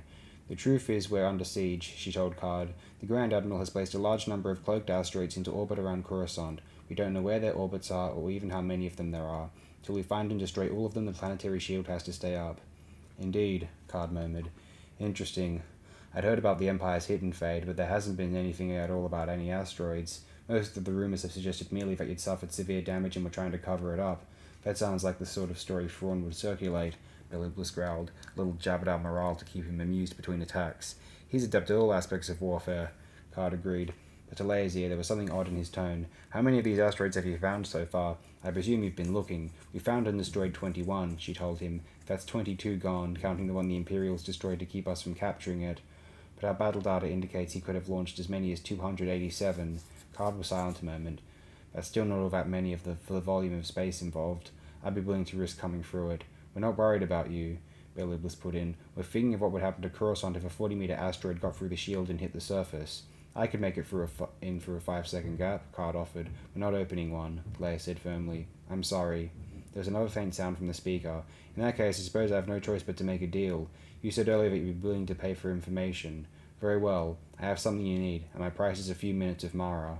Leia frowned up at Bel Iblis, got an equally puzzled look in return. Whatever Karrde was angling for, it wasn't obvious to him either. What was obvious was that she couldn't very well promise to let him talk to Mara. I can't make any promises, she told him. Tell me what the information is, and I'll try to be fair. There was a moment of silence as he thought it over. I suppose that's the best offer I'm going to get, he said at last. All right, you can lower your shield any time now. The asteroids are all gone. Leia stared at the speaker. What? You heard me, Karrde said. They're gone. Thrawn left you 22. You've destroyed 22. The siege is over. How do you know? Bel Iblis asked. I said the Bilbringi shipyards shortly before the Empire's hit and fade attack, Karrde told him. We observed a group of 22 asteroids being worked on under close security. At the time, of course, we didn't know what the Empire was doing with them. Did you make any records while you were there? Bel Iblis asked. I have the Wild Karrde sensor data, he said. If you're ready, I'll drop it to you. Go ahead. The data feed light went on, and Leia looked up at the master visual, dis- master visual display. It was the inside of the Bilbringi shipyards, all right. She recognized it from New Republic surveillance flights. And there in the center, surrounded by support craft and maintenance suited workers. He's right, Bel Iblis murmured. Twenty-two of them. That doesn't prove there aren't any more, sir, the officer at the sensor console pointed out. They could have put another group together at no, together another group at Ord Trasi or Yaga Minor. No, Bel Iblis shook his head. Aside from the logistics problems involved, I can't imagine Thrawn spreading his cloaking technology around more than he has to. The last thing he can afford would be for us to get our hands on a working model, or even a systems readout, Karrde agreed. If he found a weakness, one of his chief advantages over you would be gone. All right, I've delivered on my end of the deal. How about yours? Leia looked at Bel Iblis helplessly. Why do you want to talk with her? the general asked. If it matters, one of the hardest parts of being locked up is the feeling that you've been deserted, Karrde said coolly. I imagine Mara's feeling that. I know I did when I was Thrawn's unwilling guest aboard the Chimaera. I want to let her know, in person, that she hasn't been forgotten. Leia, Bel Iblis murmured, what do we do? Leia stared at the general, hearing his words but not really registering them. There it was, right in front of her, the key she'd been searching for. Karrde's imprisonment aboard the Chimaera. Leia? Bel Iblis repeated, frowning. I heard you, she said, the words sounding distant and mechanical in her ears. Let him land. Bel Iblis threw a glance at the deck officer. Perhaps we should. I said let him land. Leia snapped if more fire than she'd intended. Suddenly all the pieces had fallen into place, and the picture they formed was one of potential disaster. I'll take responsibility. For a moment, Bel Iblis studied her face. Karrde, this is Bel Iblis, he said slowly. We'll give you your five second opening. Stand by for landing instructions. Thank you, Karrde said. I'll talk to you soon. Bel Iblis gestured to the deck officer, who nodded and got busy. All right, Leia, he said, turning back to her. What's going on? Leia took a deep breath. It's the cloning garm. I know how Thrawn's growing, growing them so fast. The whole war room had gone dead quiet. Tell me, Bel Iblis said. It's the Force, she told him. It was so obvious, so utterly obvious, and yet she missed it completely. Don't you see? When you make an exact duplicate of a sentient being, there's a natural resonance or something set up through the Force between that duplicate and the original. That's what warps the mind of a clone that's been grown too fast. There's not enough time for the mind to adapt to the pressure on it. You can't adjust, so it breaks. All right, Bel said dubiously. How is Thrawn getting around the problem? It's very simple, Leia said, a shiver running through her. He's using ysalamiri to block the force away from the cloning tanks. Bel face went rigid. Across the silent war room, someone swore softly. It was Karrde's rescue from the Chimaera that was the key, Leia went on. Mara told me that the Empire had taken five or six thousand ysalamiri out of the forests on Myrkr, but they weren't loading them onto their warships because when she and Luke went after Karrde, Luke had no problem using the Force, because the ysalamiri were on Wayland. Bel Iblis nodded. He looked sharply at Leia, the texture of his sense abruptly changing, which means that when the team gets to the mountain, Luke will be helpless. Leia nodded, her throat tight, and he won't even suspect it until it's too late. She shivered again, the dream she'd had the night of the Imperial attack suddenly coming back to her. Luke and Mara facing a crazed Jedi and another unknown threat. She soothed herself at the time with the knowledge that Luke would be able to sense C'baoth's presence on Wayland and take steps to avoid him, but with the ysalamiri there, he might walk right into the other's hands. No, would walk into C'baoth's hands. Somehow at this instant she knew that he would. What she'd seen that night hadn't been a dream, but a Jedi vision. I'll talk to Mon Mothma, Bel Iblis was saying, his face grim. Even if we'll bring, even if we'll bring G, maybe we can shake some ships loose to go to their assistance. Turning, he headed quickly toward the exit and the turbo lifts beyond it. For a moment, Luke watched him, listening to as the war room broke its elf-imposed trance and came slowly back to life. He'd try, she knew, but she also knew he, he would fail. Mon Mothma, Commander Sesfan, and Bel Iblis himself had already said it. There simply weren't enough resources available to hit both Wayland and the Bilbringi shipyards at the same time, and she knew all too well that not everyone in the Council would believe that the threat of cloaked asteroids had ended. At least, not enough to call off the Bilbringi attack, which meant there was exactly one person left who could go to the aid of her husband and brother. Taking a deep breath, Leia headed off after, headed off after Bel Iblis. There was a great deal she had to do before Karrde arrived. There were three of them waiting when Karrde emerged from the ship, skulking beneath the canopy overhanging the paddocks Paddock Sway tunnel. Karrde spotted them from the top of the Wild Karrde's entrance ramp, and despite the shadows, had two of them identified before he was halfway down. Leia Organa Solo was there, with Ghent fidgeting behind her. The third figure, standing behind both of the others, was short and wore the coarse brown robe of a Jawa. What a desert scavenger was doing there, Karrde couldn't guess, but as the group stepped out of the shadows toward him and he got his first good look at Organa Solo's face, it became clear that he was about to find out. Good morning, Councillor, he greeted her, inclining his head slightly. Good to see you, Ghent. I trust you've been making yourself useful. I suppose so, Ghent said, shifting nervously from one foot to the other, far too nervously even for him. They say so, anyway. Good. Karrde shifted his attention to the third of the party. And your friend is? I am Mobvekhar, Clan Hakar. A gravelly voice mewed. Karrde resisted the urge to take a half step backward, Whatever was hiding under that robe, it most certainly wasn't a Jawa. He's my bodyguard, Organa Solo said. Ah. With an effort, Karrde pulled his eyes away from whatever it was that was being concealed by the dark hood. Well, he said, waving a hand toward the excess way. Shall we go? Organa Solo shook her head. Mara's not here. Look at Ghent, who was looking even more uncomfortable. You told me she was. I only agreed if you that she'd been arrested, Organa Solo said. I couldn't say anything more than there may have been Imperial probe droids listening in. With an effort, Karrde fought down his annoyance. They were all on the same side here, after all. Where is she? On a planet called Wayland, Organa Solo said, along with Luke and Han and some others. Wayland? Karrde couldn't recall ever hearing of that world before. What's on Wayland that they find so interesting? he asked. Grand Admiral Thrawn's cloning facility. Karrde stared at her. You found it? We didn't, Organa Solo said. Mara did. Karrde nodded mechanically. So they'd found the cloning facility on their own all that work he'd put in organizing the other smuggler groups. Gone like dumped Kessel spice. The work, the risk, not to mention the money he'd planned to pay them with. You're certain the cloning facility is there? We'll find out soon enough, Organa Solo said, gesturing to the ship behind him. I need you to take me there, right away. Why? Because the expedition's in danger, Organa Solo said. They may not know it yet, but they are. And if they're still on the timetable we were sent, we have a chance of getting to them before it's too late. She told me all about it on the way up here, Ghent added hesitantly. I think we ought to. He trailed off as Karrde sent a look his way. I sympathize with your people, Councillor, he said, but there are other matters that also need my attention. Then you abandoned Mara, Organa Solo reminded him. I have no particular feelings for Mara, Karrde countered. She is a member of my organization. Nothing more. Isn't that enough? For a moment, Karrde gazed at her. She held his gaze evenly, calling his bluff and in her eyes he could see that she knew perfectly well that it was a bluff. He couldn't simply walk away and abandon Mara to her death, any more than he could abandon Aves or Dankin or Chin. Not if there was anything he could do to prevent it. It's not that easy, he said quietly. I have responsibilities to the rest of my people as well. At the moment they're preparing to launch a raid with the hope of obtaining a crystal grav field trap to sell you. A flicker of surprise flashed across Organa Solo's face. A crystal gravfield trap? It's not the one you're trying for. Karrde assured her, but we've scheduled it for the same time, hoping your attack will distract the enemy. I need to be there. I see, Organa Solo murmured, apparently deciding to pass over the question of how Karrde could have known about the Tangrene raid.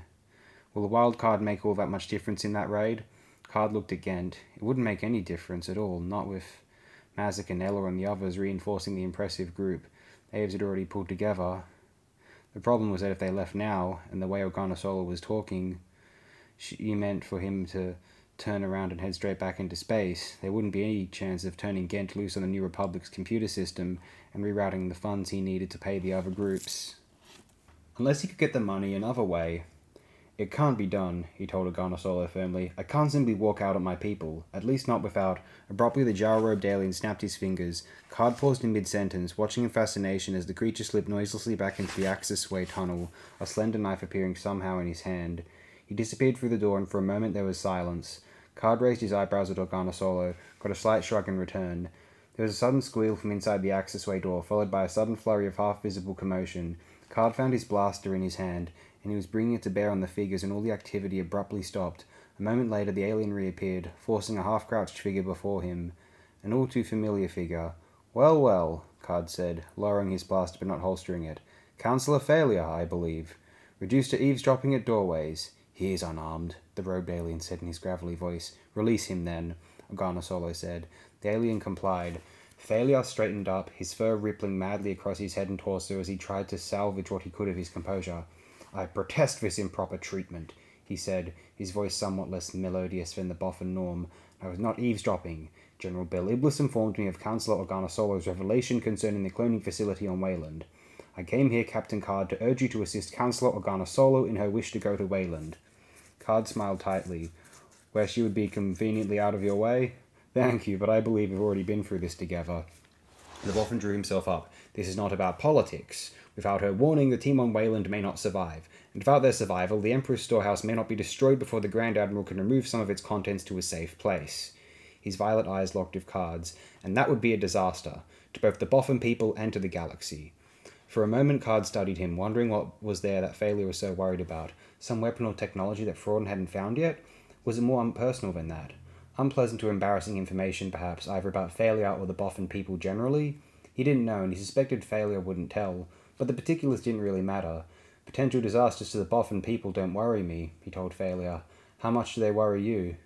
There was an uncertain ripple of the fur across Fey'lya's shoulders. It would be a disaster for the galaxy as well, he said. So you said. Karrde agreed. I repeat, how much does it worry you? And this time Fey'lya got it. His eyes narrowed, his fur rippling with obvious contempt. How much worry will it take? he demanded. Nothing unreasonable, Karrde assured him. Merely a credit of, say, seventy thousand. Seventy thousand? Fey'lya echoed, aghast. What exactly do you think? That's my price, Councillor. Karrde cut him off. Take it or leave it. And if Councillor Organa Solo is correct, we don't have time for any long discussions. Fey'lya hissed like an angry predator. You're no better than a foul mercenary, he snarled, his voice about as vicious as Karrde had ever heard a Bothan get. You drain out the lifeblood of the Bothan people. Spare me the lecture, Councillor, Karrde said. Yes or no? Fey'lya hissed again. Yes.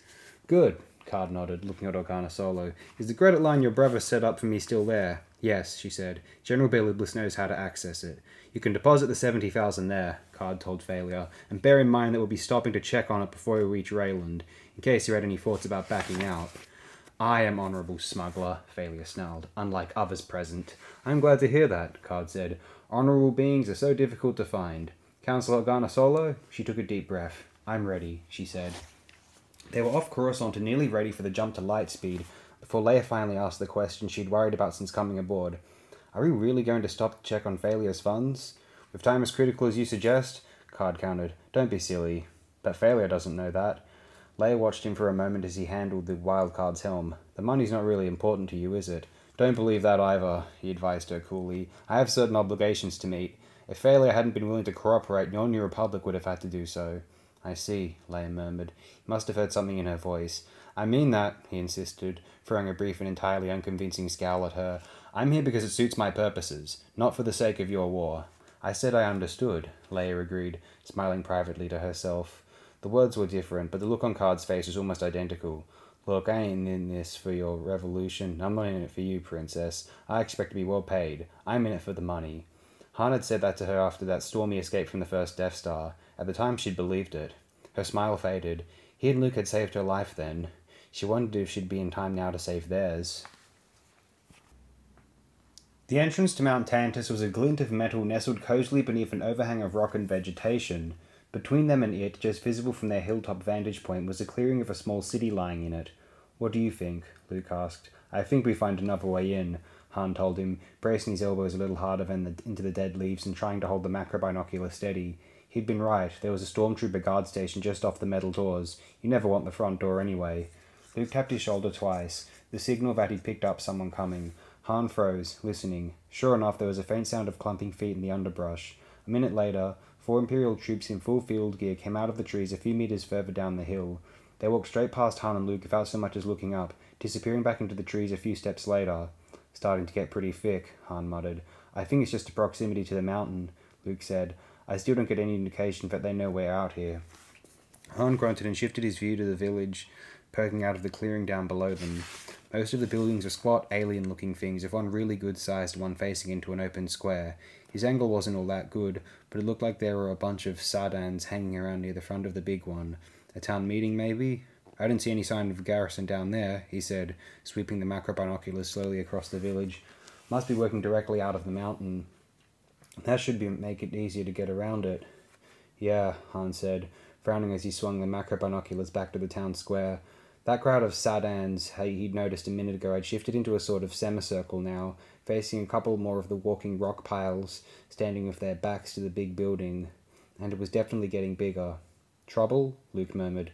I don't know, Han said slowly, wedging his elbows a little tighter and kicking the magnification up a notch. There's a big meeting going on down there.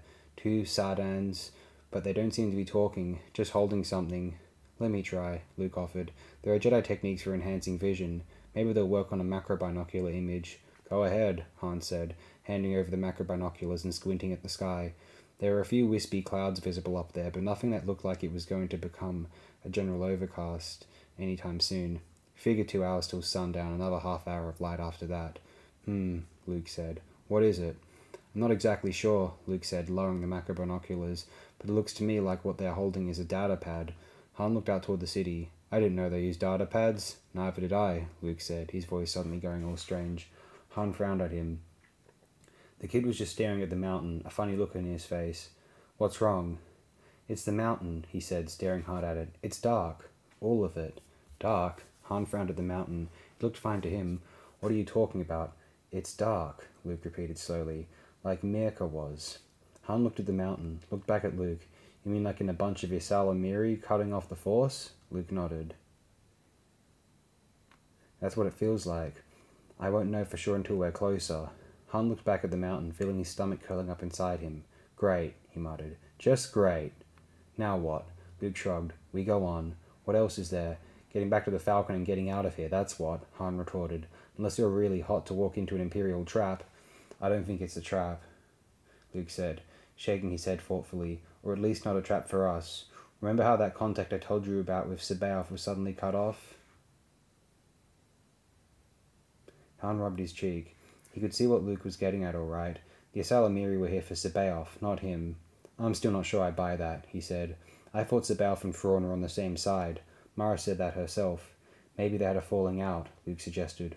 Maybe Thrawn was using him from the start and now doesn't need him anymore. The Imperials don't know we're here, the ysalamiri must have been meant for him.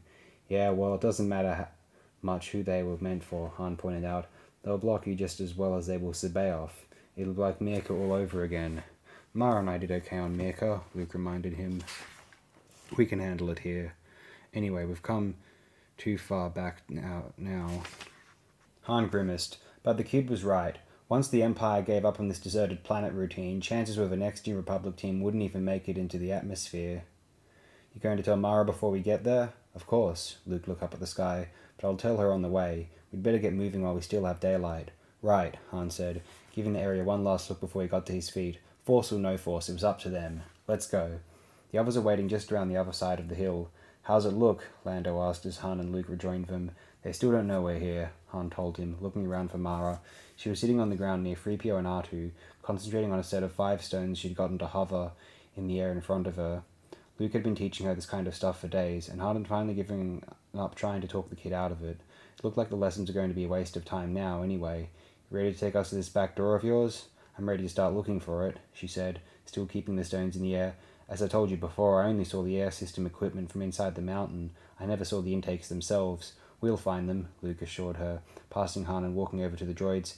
How are you doing, Threepio? Quite well, thank you, Master Luke, the droid answered primly. This route is so much better than many of the earlier ones. Beside him, R2 trilled something. R2 finds it so as well, Threepio added. Don't get attached to it, Mara warned, finally letting the stones drop as she stood up. There probably won't be any Myneyrshi trails up the mountain for us to follow. The Empire discouraged native activity anywhere nearby. But don't worry, Luke soothed the droids. The Noghri will help us find a path. Free to Garrett's Gold, you're cleared for final approach. The brisk voice of Bilbringi Control came over the Etherway's bridge speaker. Docking platform 25. Straight vector is indicated to the bio. It'll feed you the course to follow the platform. Acknowledged, Control, Ave said, keying in the course that had come up on the nav display. What about the security fields? Stay on the course you're given and you won't run into them, the controller said. Deviate more than about 15 meters any direction, you'll get a good bump on the nose. From the looks of it, I don't think your nose can afford any more bumps. Aves threw a glare at the speaker. One of these days he was going to get real tired of Imperial sarcasm. Thank you, he said, and keyed off.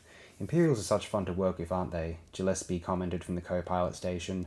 I like to imagine what his expression is going to be like when we burn out of here if they're CGT, Ave said. Let's hope we're not around to find out for sure, Gillespie said. Pretty complicated fly system they've got here. Wasn't like this before that raid of Mazzic's, Ave said, gazing ahead through the viewport. Half a dozen shield generators are visible along his approach vector, floating loose around the area and defining the flight path the bayou would supposedly give him, probably supposed to keep anyone else from flying around the shipyards any old way they want to. Yeah, Gillespie said. I just hope they've got all the glitches out of the system. Me too, Aves agreed. I don't want them to know how much of a bump this ship can really take glanced down at his board, confirming his vector and then checking the time. The New Republic fleet ought to be hitting Tangrene in a little over three hours, just enough time for the Etherway to dock, unload the specially tweaked tractor beam burst capacitors they were courteously donating to the Empire's war effort, and get into backup position for Mazzic's attempt to grab the CGT from the main command center eight docking platforms away. There goes Ellor, Gillespie commented, nodding off to starboard. Aves looked. It was the Chimaera, all right, with the Cleavering running in flanking position beside it. Beyond it, he could see the starry ice drifting in toward a docking platform near the perimeter. Near as he could tell, everything seemed to be falling into place. Though with someone like Thrawn in charge, appearances didn't mean much. For all he knew, the Grand Admiral might already know all about this raid, and was just waiting for everybody to sneak in under the net before wrapping it around them. You ever hear anything from Karrde? Gillespie asked a little too casually. He's not deserting us, Gillespie, Aves growled. If he says he has something more important to do, then he has something more important to do. Period. I know, Gillespie said, his voice noncommittal, just for some of the others might have asked. Aves grimaced. Here they went again. He'd have thought that opening up Ferrier's treachery at Hijarna would have settled this whole thing once and for all. He should have known better. I'm here, he reminded Gillespie. So the Starry Ice, the Dawn Beat, the Last Resort, the Amanda Fallow, the Yeah, right, I get the point. Gillespie interrupted. Don't get huffy at me. My ships are here too. Sorry, Ave said. I'm just getting tired of everybody always being so suspicious of everybody else. Gillespie shrugged. We're smugglers. We've had a lot of practice at it. Personally, I'm surprised the group's held together this long. What do you think he's doing? Who, Karrde? Ave shook his head. No idea. But it'll be something important. Sure, Gillespie pointed ahead. That the marker bayou? Looks like it, Aves agreed. Get ready to copy the course data. Ready or not? Here we go. The orders came up on Wedge's com screen, and he gave them a quick check as he keyed for the squadron's private frequency. Rogue Squadron, this is Rogue Leader, he said. Orders. We're going in with the first wave, flanking Admiral Ackbar's command cruiser. Hold position here until we are cleared for positioning. All ships acknowledge. The acknowledgements came in, crisp and firm, and Wedge smiled tightly to himself. There'd been some worry among Ackbar's staff, he knew, that the long flight here to the rendezvous point might take the edge off those units that had first had to carry out decoy duty near the supposed Tangrene jump-off point. Wedge didn't know about the others, but it was clear that Rogue Squadron was primed and ready for battle.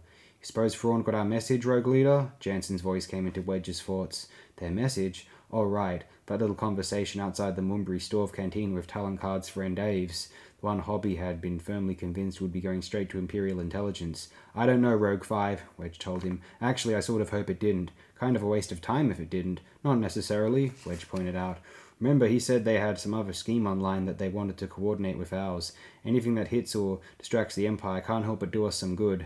They've probably just got some smuggling drop planned, Rogue Six sniffed, hoping to run it through while the Imperials are looking the other way.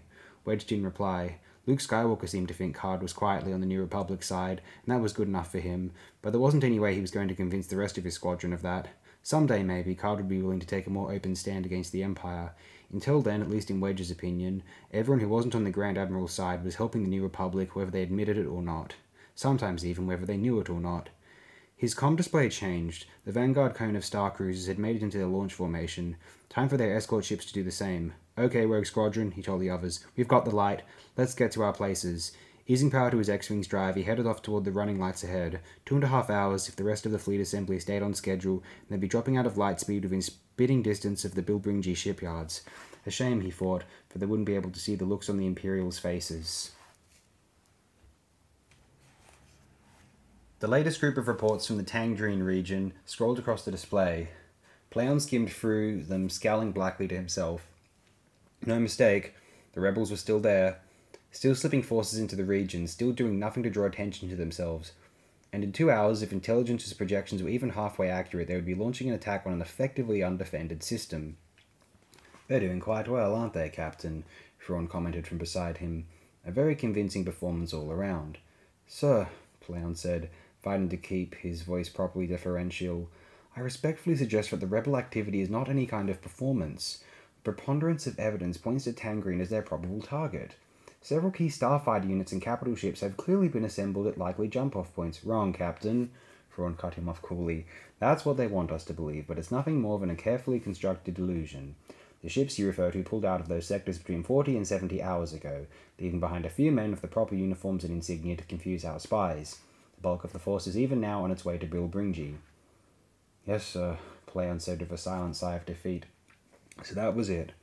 Once again, Thrawn had chosen to ignore his arguments, as well as all the evidence, in favour of nebulous hunches and intuitions, and if he was wrong, it wouldn't be simply the Tangrene Ubiqtorate base that would be lost. An error of that magnitude would shake the confidence and momentum of the entire Imperial war machine.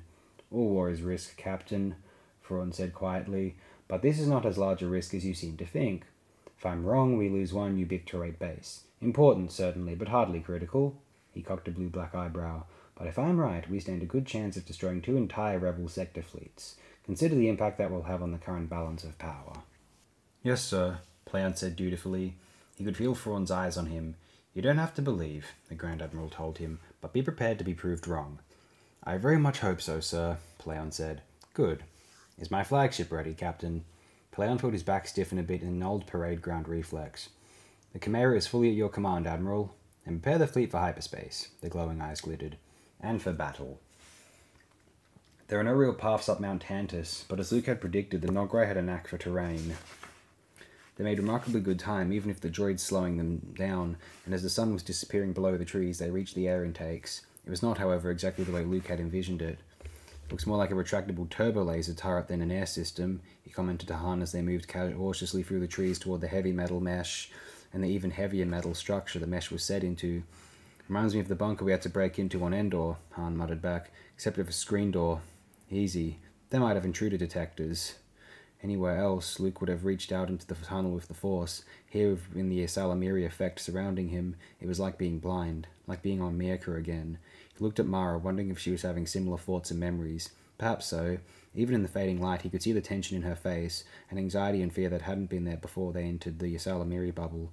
So what now? she growled, flashing a brief glare at him before looking away again. We just sit around until morning? Han had his macro binoculars trained on the intake. Looks like a computer outlet there on the wall under the overhang, he said. The rest of you stay put. I'll take R2 over and try plugging him in. Beside Han, Chewbacca rumbled a warning. Where? Han muttered, drawing his blaster. The Wookiee pointed with one hand as he unlimbered his bowcaster with the other. The whole group froze, weapons ready, and it was then that Luke first heard the faint sounds of distant blaster fire. From several kilometers away, he thought, possibly somewhere down the mountain, but without his Jedi enhancement techniques, there was no way to know for sure.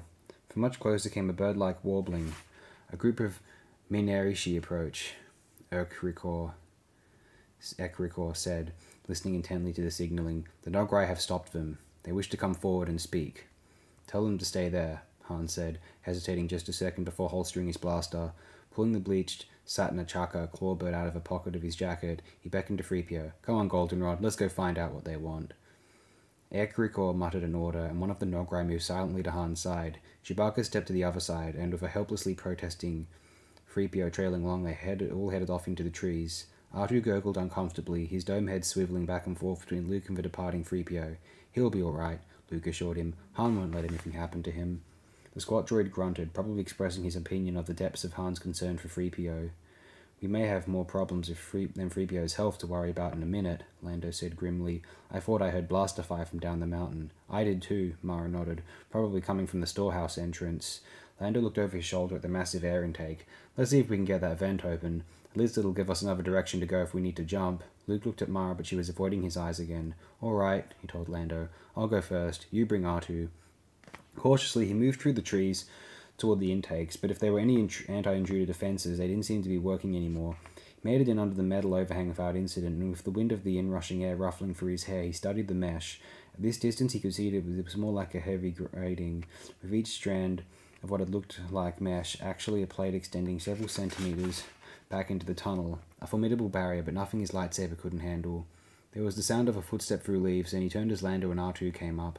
The outlet's over there, R2, he told the droid, pointing to the socket in the side wall. Plug in and see what you can find out. The droid warbled acknowledgement and with Lando's help maneuvered his way across the rough ground. It's not just going to open up for you, Mara said from behind him. R2's going to check it out, Luke told her, peering at her face. You all right? He'd expected a sarcastic comment or at least a withering glare. He wasn't prepared for her to reach out and grip his hand. I want you to promise me something, she said in a low voice. Whatever it costs, don't let me go over to C'baoth's side. You understand? Don't let me join him even if you have to kill me. Luke stared at her, an eerie chill running through him. C'baoth can't force you to his side, Mara, he said. Not without your cooperation. Are you sure of that? Really sure? Luke grimaced. There was so much he didn't know yet about the Force. No. Neither am I, Mara said. That's what worries me. C'baoth told me back on Jomark that I'd be joining him. He said it again here, too, the night he arrived. He may have been mistaken, Luke suggested hesitantly, or lying. I don't want to risk it. She gripped Luke's hand tighter. I'm not going to serve him, Skywalker. I want you to promise that you'll kill me before you let him do that to me. Luke swallowed hard. Even without the Force, he could hear in her voice that she meant it. But for a Jedi to promise to cut someone down in cold blood, I'll promise you this, he said instead. Whatever happens in there, you won't have to face him alone. I'll be there to help you. She turned her face away. What if you're already dead? So it was down to this the same battle she'd been fighting with herself since the day they met. You don't have to do it, he said quietly. The Emperor's dead. That voice you hear is just a memory he left behind inside you. I know that, she snapped, a touch of fire flickering through the cold dread. You think that makes it any easier to ignore? No, he conceded. But you can't use the voice as an excuse either. Your destiny is in your hands, Mara, not C'baoth's or the Emperor's. In the end, you're the one who makes the decisions. You have that right, and that responsibility. From the forest came the sound of footsteps. Fine, Mara growled, dropping Luke's hand and taking a step back away from him. You spout philosophy if you want to. Just remember what I said. Spinning round, she turned to face the approaching group. So what's going on, Solo? We've picked up some allies, he said, throwing what looked like a frown in Luke's general direction. Sort of allies, anyway. Hey, Threepio, Lando called, waving to him. Come over here, will you, and tell me what R2's all excited about. Certainly, sir. Threepio said, shuffling over to the computer terminal. Luke looked back at Han. What do you mean, sort of allies? It's kind of confusing, Han said. At least the way Threepio translated it. They don't want to help us, they just want to go in and fight the Imperials. They followed us because they figured we'd find a back door they could get in through. Luke studied the group of silent four-armed aliens towering over the Noghri guarding them. All wore four or more long knives and carried crossbows. Not exactly the sort of weapons to use against armored Imperial troops. I don't know. What do you think? Hey Han, Lando called softly before Han could answer. Come here. You'll want to hear this. What? Han asked as they went over to the computer terminal. Tell them, Threepio, Lando said. Apparently there is an attack taking place at the main entrance to the mountain, Threepio said in that perennial surprised manner of his. R2 has picked up several reports detailing perimeter guard troop movements into the area. Who's attacking? Han cut him off. Apparently some of the Psadans from the city, Threepio said. According to the gate reports, they demanded the release of their Lord C'baoth before they attacked.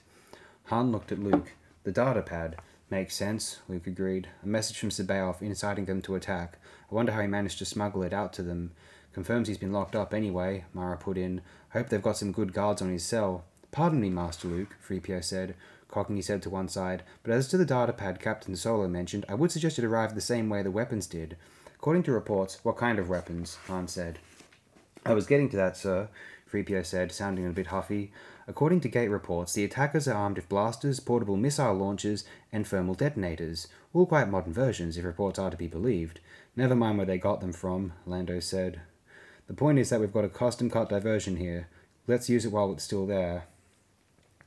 Chewbacca rumbled suspiciously. You're right, pal, Han agreed, peering into the grating. It's awfully convenient timing. But Lando's right. We might as well go for it. Lando nodded. Okay. R2, shut it all down. The squat droid chirped acknowledgement, his computer arm rotating in the socket. The inflow of air across Luke's face began to decrease, and a minute later had stopped completely. R2 warbled again. Uh, R2 reports that all operating systems for this intake have been shut down, Threepio announced. He warns, however, that once the duty cycle has ended, the dust barriers and driving fields may be reactivated from a central location.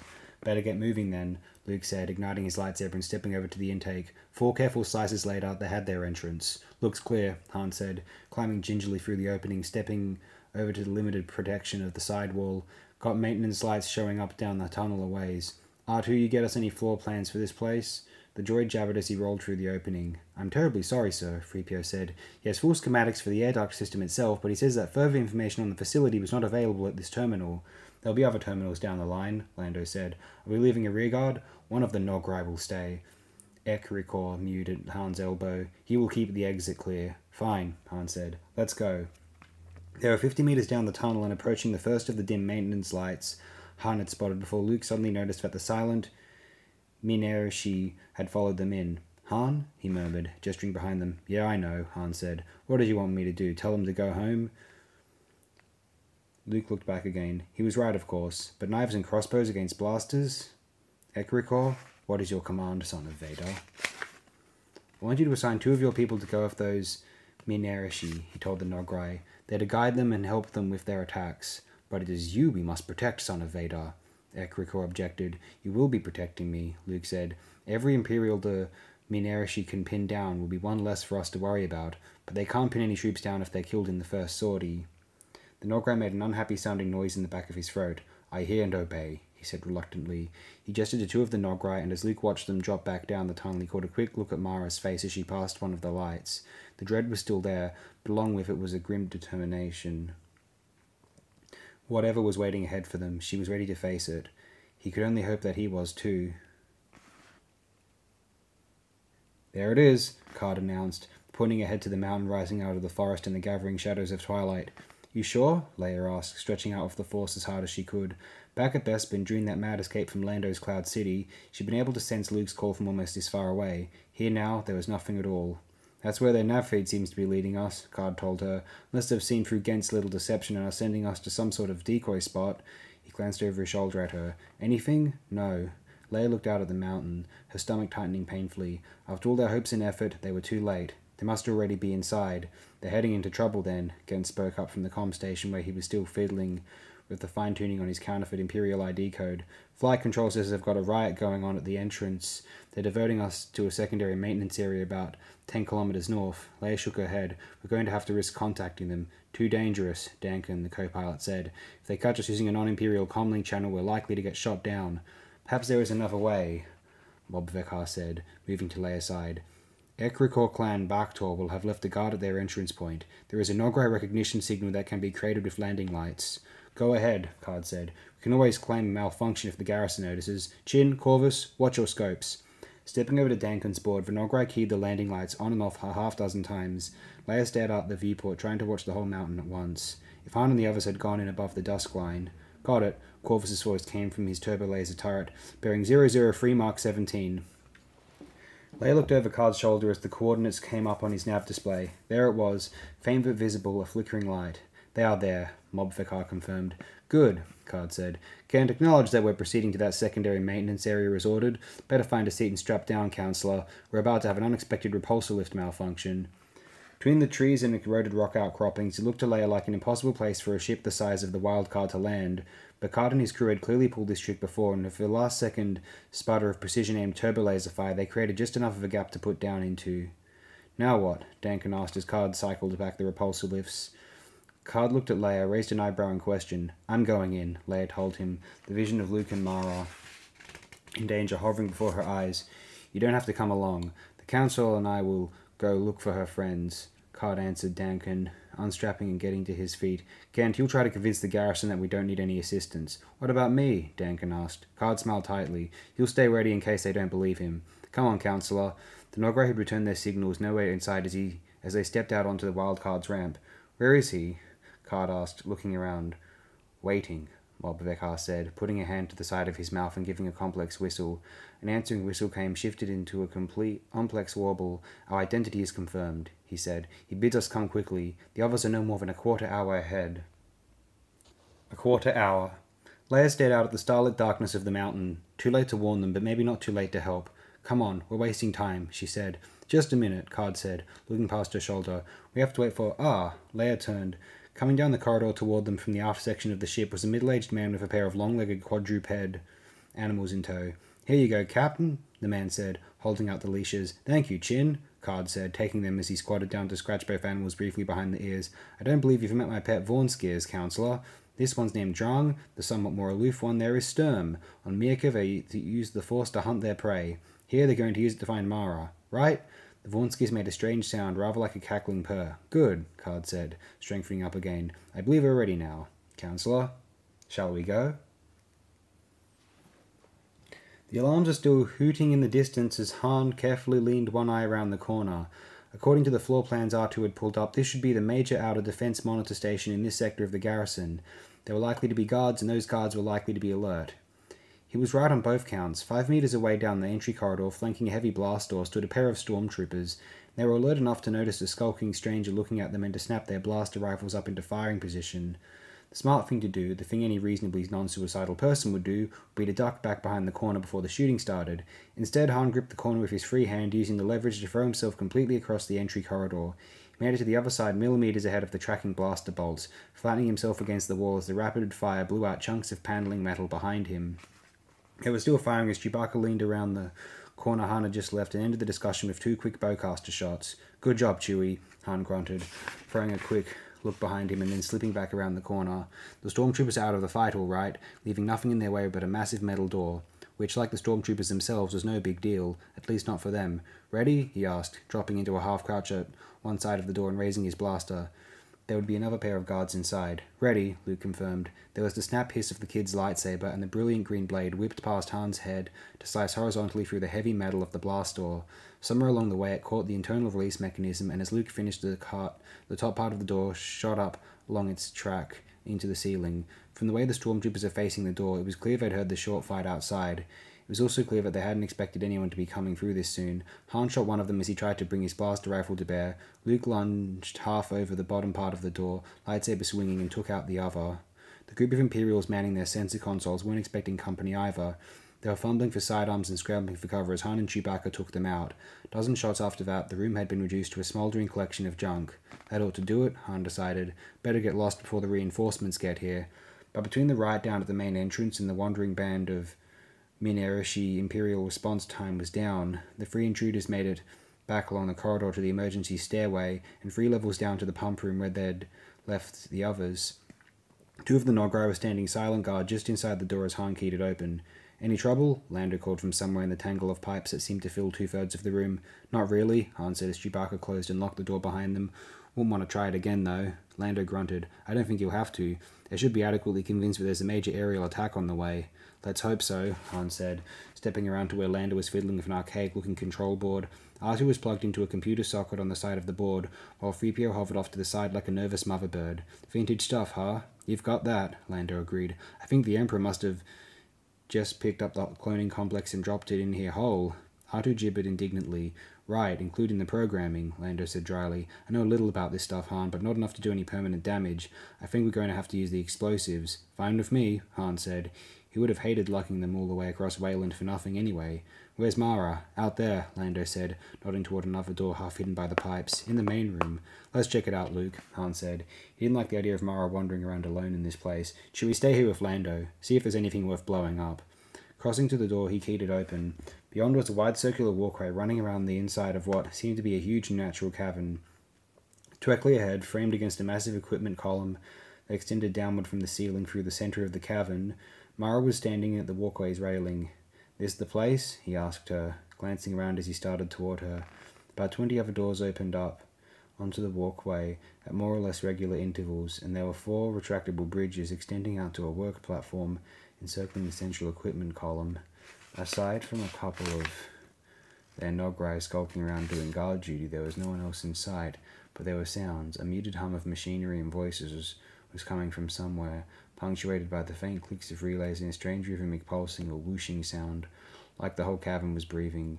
It's the place, Mara confirmed, her voice sounding strange. Maybe she thought it sounded like breathing too.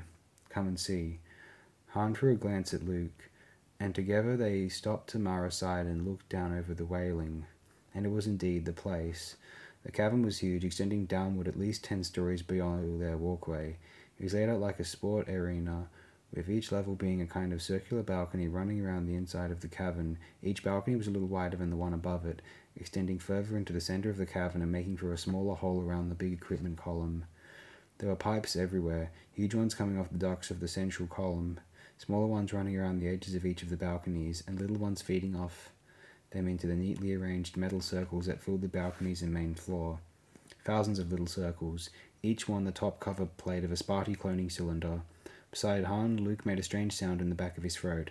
It's hard to believe, he said, sounding about halfway between awestruck and dumbfounded. Believe it, Han advised him grimly, pulling out his macro binoculars and focusing them on the main floor below. The ductwork blocked a lot of the view, but he could catch glimpses of men in medtech and guard uniforms were scurrying around. They were on some of the balconies too. They're stirred up like a rat's nest down there, he said. Stormtroopers on the main floor and everything. He threw a sideways look at Mara. Her expression was tight as she stared down at the cloning tanks, with the haunted look of someone gazing back into the past. Bring back memories? he asked. Yes, she said mechanically. She stood there in a, a moment longer, then slowly straightened up. But we can't allow it to stand. Glad you agree, Han said, studying her face. She looked and sounded okay now, but there was a lot of stuff going on under the surface. Hold it together, kid, he told her silently. Just a little longer, okay? That column in the middle looks like our best shot. You know anything about it? She looked across the cavern. Not really, she hesitated, but there might be another way. The Emperor wasn't one for leaving things behind for other people to use, not if he could help it. Han threw a glance at Luke. You mean this whole place might have a self-destruct? It's possible, she said, that haunted look back in her eyes again. If so, the control will be up in the throne room. I could go and take a look. I don't know, Han said, looking down into the cloning cavern. It was an awfully big place for them to take on of a single sack of explosives. You'd give her that much. A destruct switch would simplify things a lot, but the idea of Mara and her memories up there in the Emperor's throne room didn't sound so good either. Thanks, but I don't think any of us ought to go wandering around this place alone. I'll go with her, Luke volunteered. She's right. It's worth checking out. It'll be safe enough, Mara added. There's a service droid turbo lift along the walkover that'll get us most of the way there. Most of the Imperial's attention should be focused on the riot at the entrance anyway. Han grimaced. All right, get going, he growled. Don't forget to let us know before you pull the switch, okay? We won't, Luke assured him with a tight grin. Come on, Mara. They headed down the walkway. Where are they going? Lando asked from behind Han. Emperor's throne room, Han said. She thinks he might have put a self-destruct switch up there. You find anything? Artoo's finally got a connection into the main computer, Lando told him. He's looking for schematics of that thing. He gestured toward the central column. We can't wait, Han decided, turning back as Chewbacca emerged from the pump room with their bag of explosives over one shoulder. Chewie, you and Lando take one of those bridges across and get busy. Right, Lando said, taking a cautious look over the railing. What about you? I'm going to go lock us in, Han told him, pointing to the other doors opening out onto the walkway. You, Noghri, come here. The two Noghri had been standing guard moved silently to him as Lando and Chewbacca headed toward the nearest bridge. Your command, Han Clan Solo? One of them asked. You? Stay here, he told the nearest one. Watch for trouble. You, he pointed to the other. Help me seal off those doors. One good blast shot into each control box ought to do it. I'll go this way, you go the other. He's about two thirds of the way around his side of the walkway when he heard something over the eerie mechanical breathing sounds of the cavern below him. Looking back, he saw Threepio calling and beckoning to him from the pump room door. Great, he muttered. Leave it to Threepio, and sooner or later he'd make a mess of it. Finishing the door he was on, he turned and hurried back. Captain Solo! Threepio gushed in relief as Han came up to him. Thank the Maker. R2 says, What are you trying to do? Han snapped. Bring the whole garrison down on us? Of course not, sir. But R2 says, You wanted to talk to me, you come out and find me, right? Yes, sir, but R2 says, If you don't know where to look, you use your comlink, Han said. jabbing a finger at the little cylinder the droid was clutching. That's why you've got one. You don't just shout around. You got that? Yes, sir, Threepio said, his mechanical patience sounding more than a little strained. May I continue? Han sighed. So much for the lecture. He'd do better talking to a Bantha. Yeah, what is it? It's about Master Luke, Threepio said. I overheard one of the Noghri say that he and Mara Jade were on their way to the Emperor's throne room. Yeah, so? Well, sir, in the course of his inquiries, Artoo has just learned that the Jedi Master Joruus C'baoth is imprisoned in that area. Han stared at him. What do you mean, that area? Isn't he in the detention center? No, sir, Freepio said. As I said, why didn't you say so? Han demanded, yanking out his comlink and thumbing it on, and just as the fast just as fast thumbing it off. Comlinks appear to be inoperable, Threepio said primly. I discovered that when I attempted to contact you. Great, Han snarled, the burst of jamming static still echoing in his ears as he looked around. Luke and Mara walking right into C'baoth's arms, and no way to warn them. No way except one. Keep Artoo busy looking for those schematics, he told Threepio, shoving the comlink back into his belt. While he's at it, tell him to see if he can find out where the jamming is coming from. If he can, send a couple of the Noghri to try and get rid of it. Then get out to that work platform until Chewie and Lando where I've gone. Yes, sir, Threepio said, sounding a little surprised by the flurry of orders and command authority. Pardon me, sir, but where will you have gone? Where do you think? Han retorted over his shoulder as he started down the walkway. It never failed, he thought sourly. One way or the other, no matter where they were, what they were doing, somehow he always wound up chasing off after Luke. And it was starting to look more and more like a good thing he'd come along. All right, Garrett's Gold. Hatchways here are sealed, the controller's voice said. Stand by to receive outbound course data. Acknowledged, Control, Ave said, easing the Etherway back from the docking arm and starting a leisurely turn. They were ready here, and from the looks of things, so was everyone else. There he is, Gillespie muttered, pointing out the viewport. Right on schedule. You sure that's Mazzic? Aves asked, peering out at the ship. Pretty sure, Gillespie said. Want me to try giving him a call? Aves shrugged, looking around the shipyards. They'd set up the rest of the group with a good encrypt code, but it wouldn't be a smart idea to tempt trouble by using it before they had to. Let's hold off a minute, he told Gillespie. Wait until we've got something to talk about. The words were barely out of his mouth when the whole thing went straight to hell. Star destroyers, Thrawn barked from the com console. Coming in from light speed. Vectors? Gillespie snapped. Don't bother, Aves told him, a cold knife twisting in his gut. He could see the Star Destroyers ahead, all right, appearing out of hyperspace at the edge of the shipyards, and the dreadnoughts and the lancer frigates and the strike cruisers and the tie squadrons. A complete assault fleet and then some. And practically every fighting ship of Karrde's smuggle confederation was here, right in the middle of it.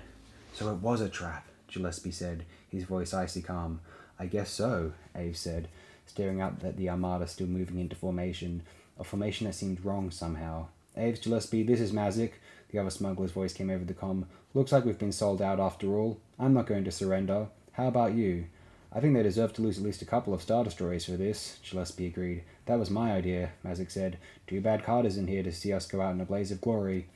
He paused and Aves could feel Gillespie's and Thrawn's eyes on him. They would, he knew, go to their deaths believing Karrde had betrayed them. All of them would. I'm with you too, he told the others quietly. If you want Mazzic, you can have command.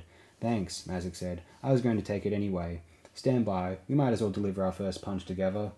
Aves took one last look at the Armada, and suddenly he had it. Hold it, he snapped. Mazzic, everyone, hold it. That assault force isn't here for us. What are you talking about? Gillespie demanded. Those interdictor cruisers out there, Aves said. Out past that Star Destroyer group. See them? Look at their positioning.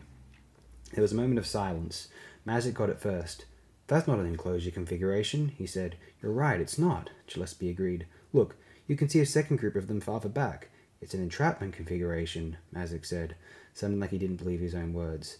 They're setting up to pull someone out of hyperspace, and then keep him here long enough to pound him. Aves looked at Gillespie, found him looking back. No, Gillespie breathed. You don't suppose... I thought they were supposed to be hitting Tangrene. So did I, Aves told him grimly, the twisting knife back in his gut. I guess we were wrong. Where else Thrawn is? Gillespie looked out at the Armada and shook his head. No, probably not. All right, let's not panic, Mazzic said. If the New Republic comes, it just means that much more to occupy the Imperial's attention. Let's on schedule and see what happens. Right, Ave sighed.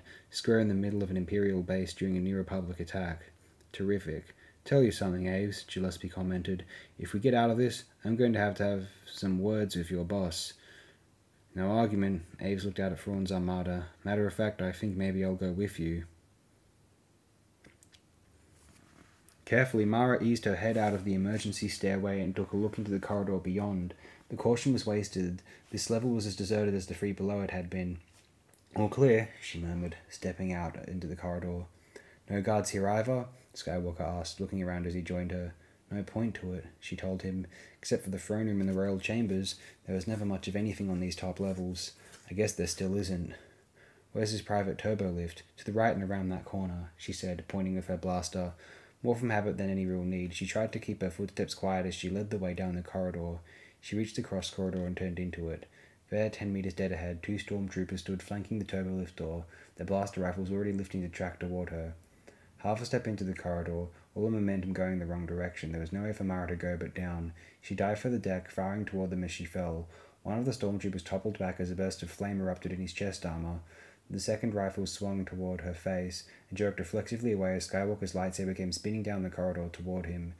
Didn't do any real damage, of course. At that distance and without the force, Skywalker wasn't that good a shot, but it did a fine job of distracting the stormtrooper, and that was all Mara needed. Even as the Imperial ducked away from the whirling blade, she caught him with two clean shots. He hit the deck and stayed there. I guess I don't want anyone going in there, Skywalker said, coming up beside her. I guess not, Mara agreed, ignoring the hand he offered and getting up on her own. Come on. The turbolift car had been locked at this level, but it took Mara only a minute to release it. There were only four stops listed the one they were on, the emergency shuttle hangar, the royal chambers, and the throne room itself. She keyed for the last, and the door slid shut behind them. The trip upward was a short one, and a few seconds later the door on the opposite side of the car slid open. Bracing herself, Mara stepped out, into the Emperor's throne room, and into a flood of memories. It was all here just as she remembered it. The muted sidelights and brooding darkness the Emperor had found so conductive, conducive to meditation and thought. The raised section of floor at the far end of the chamber, allowing him to look down from his throne as visitors climbed the staircase into his presence.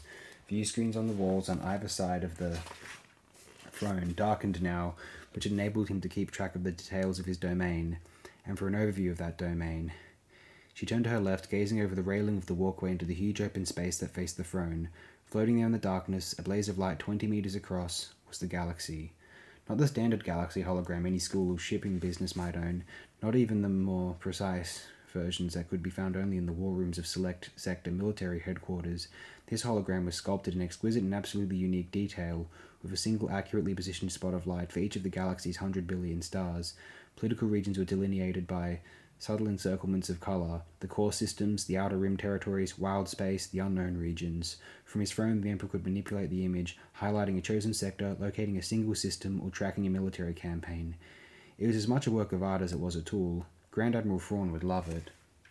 And with that thought, the memories of the past faded reluctantly into the realities of the present.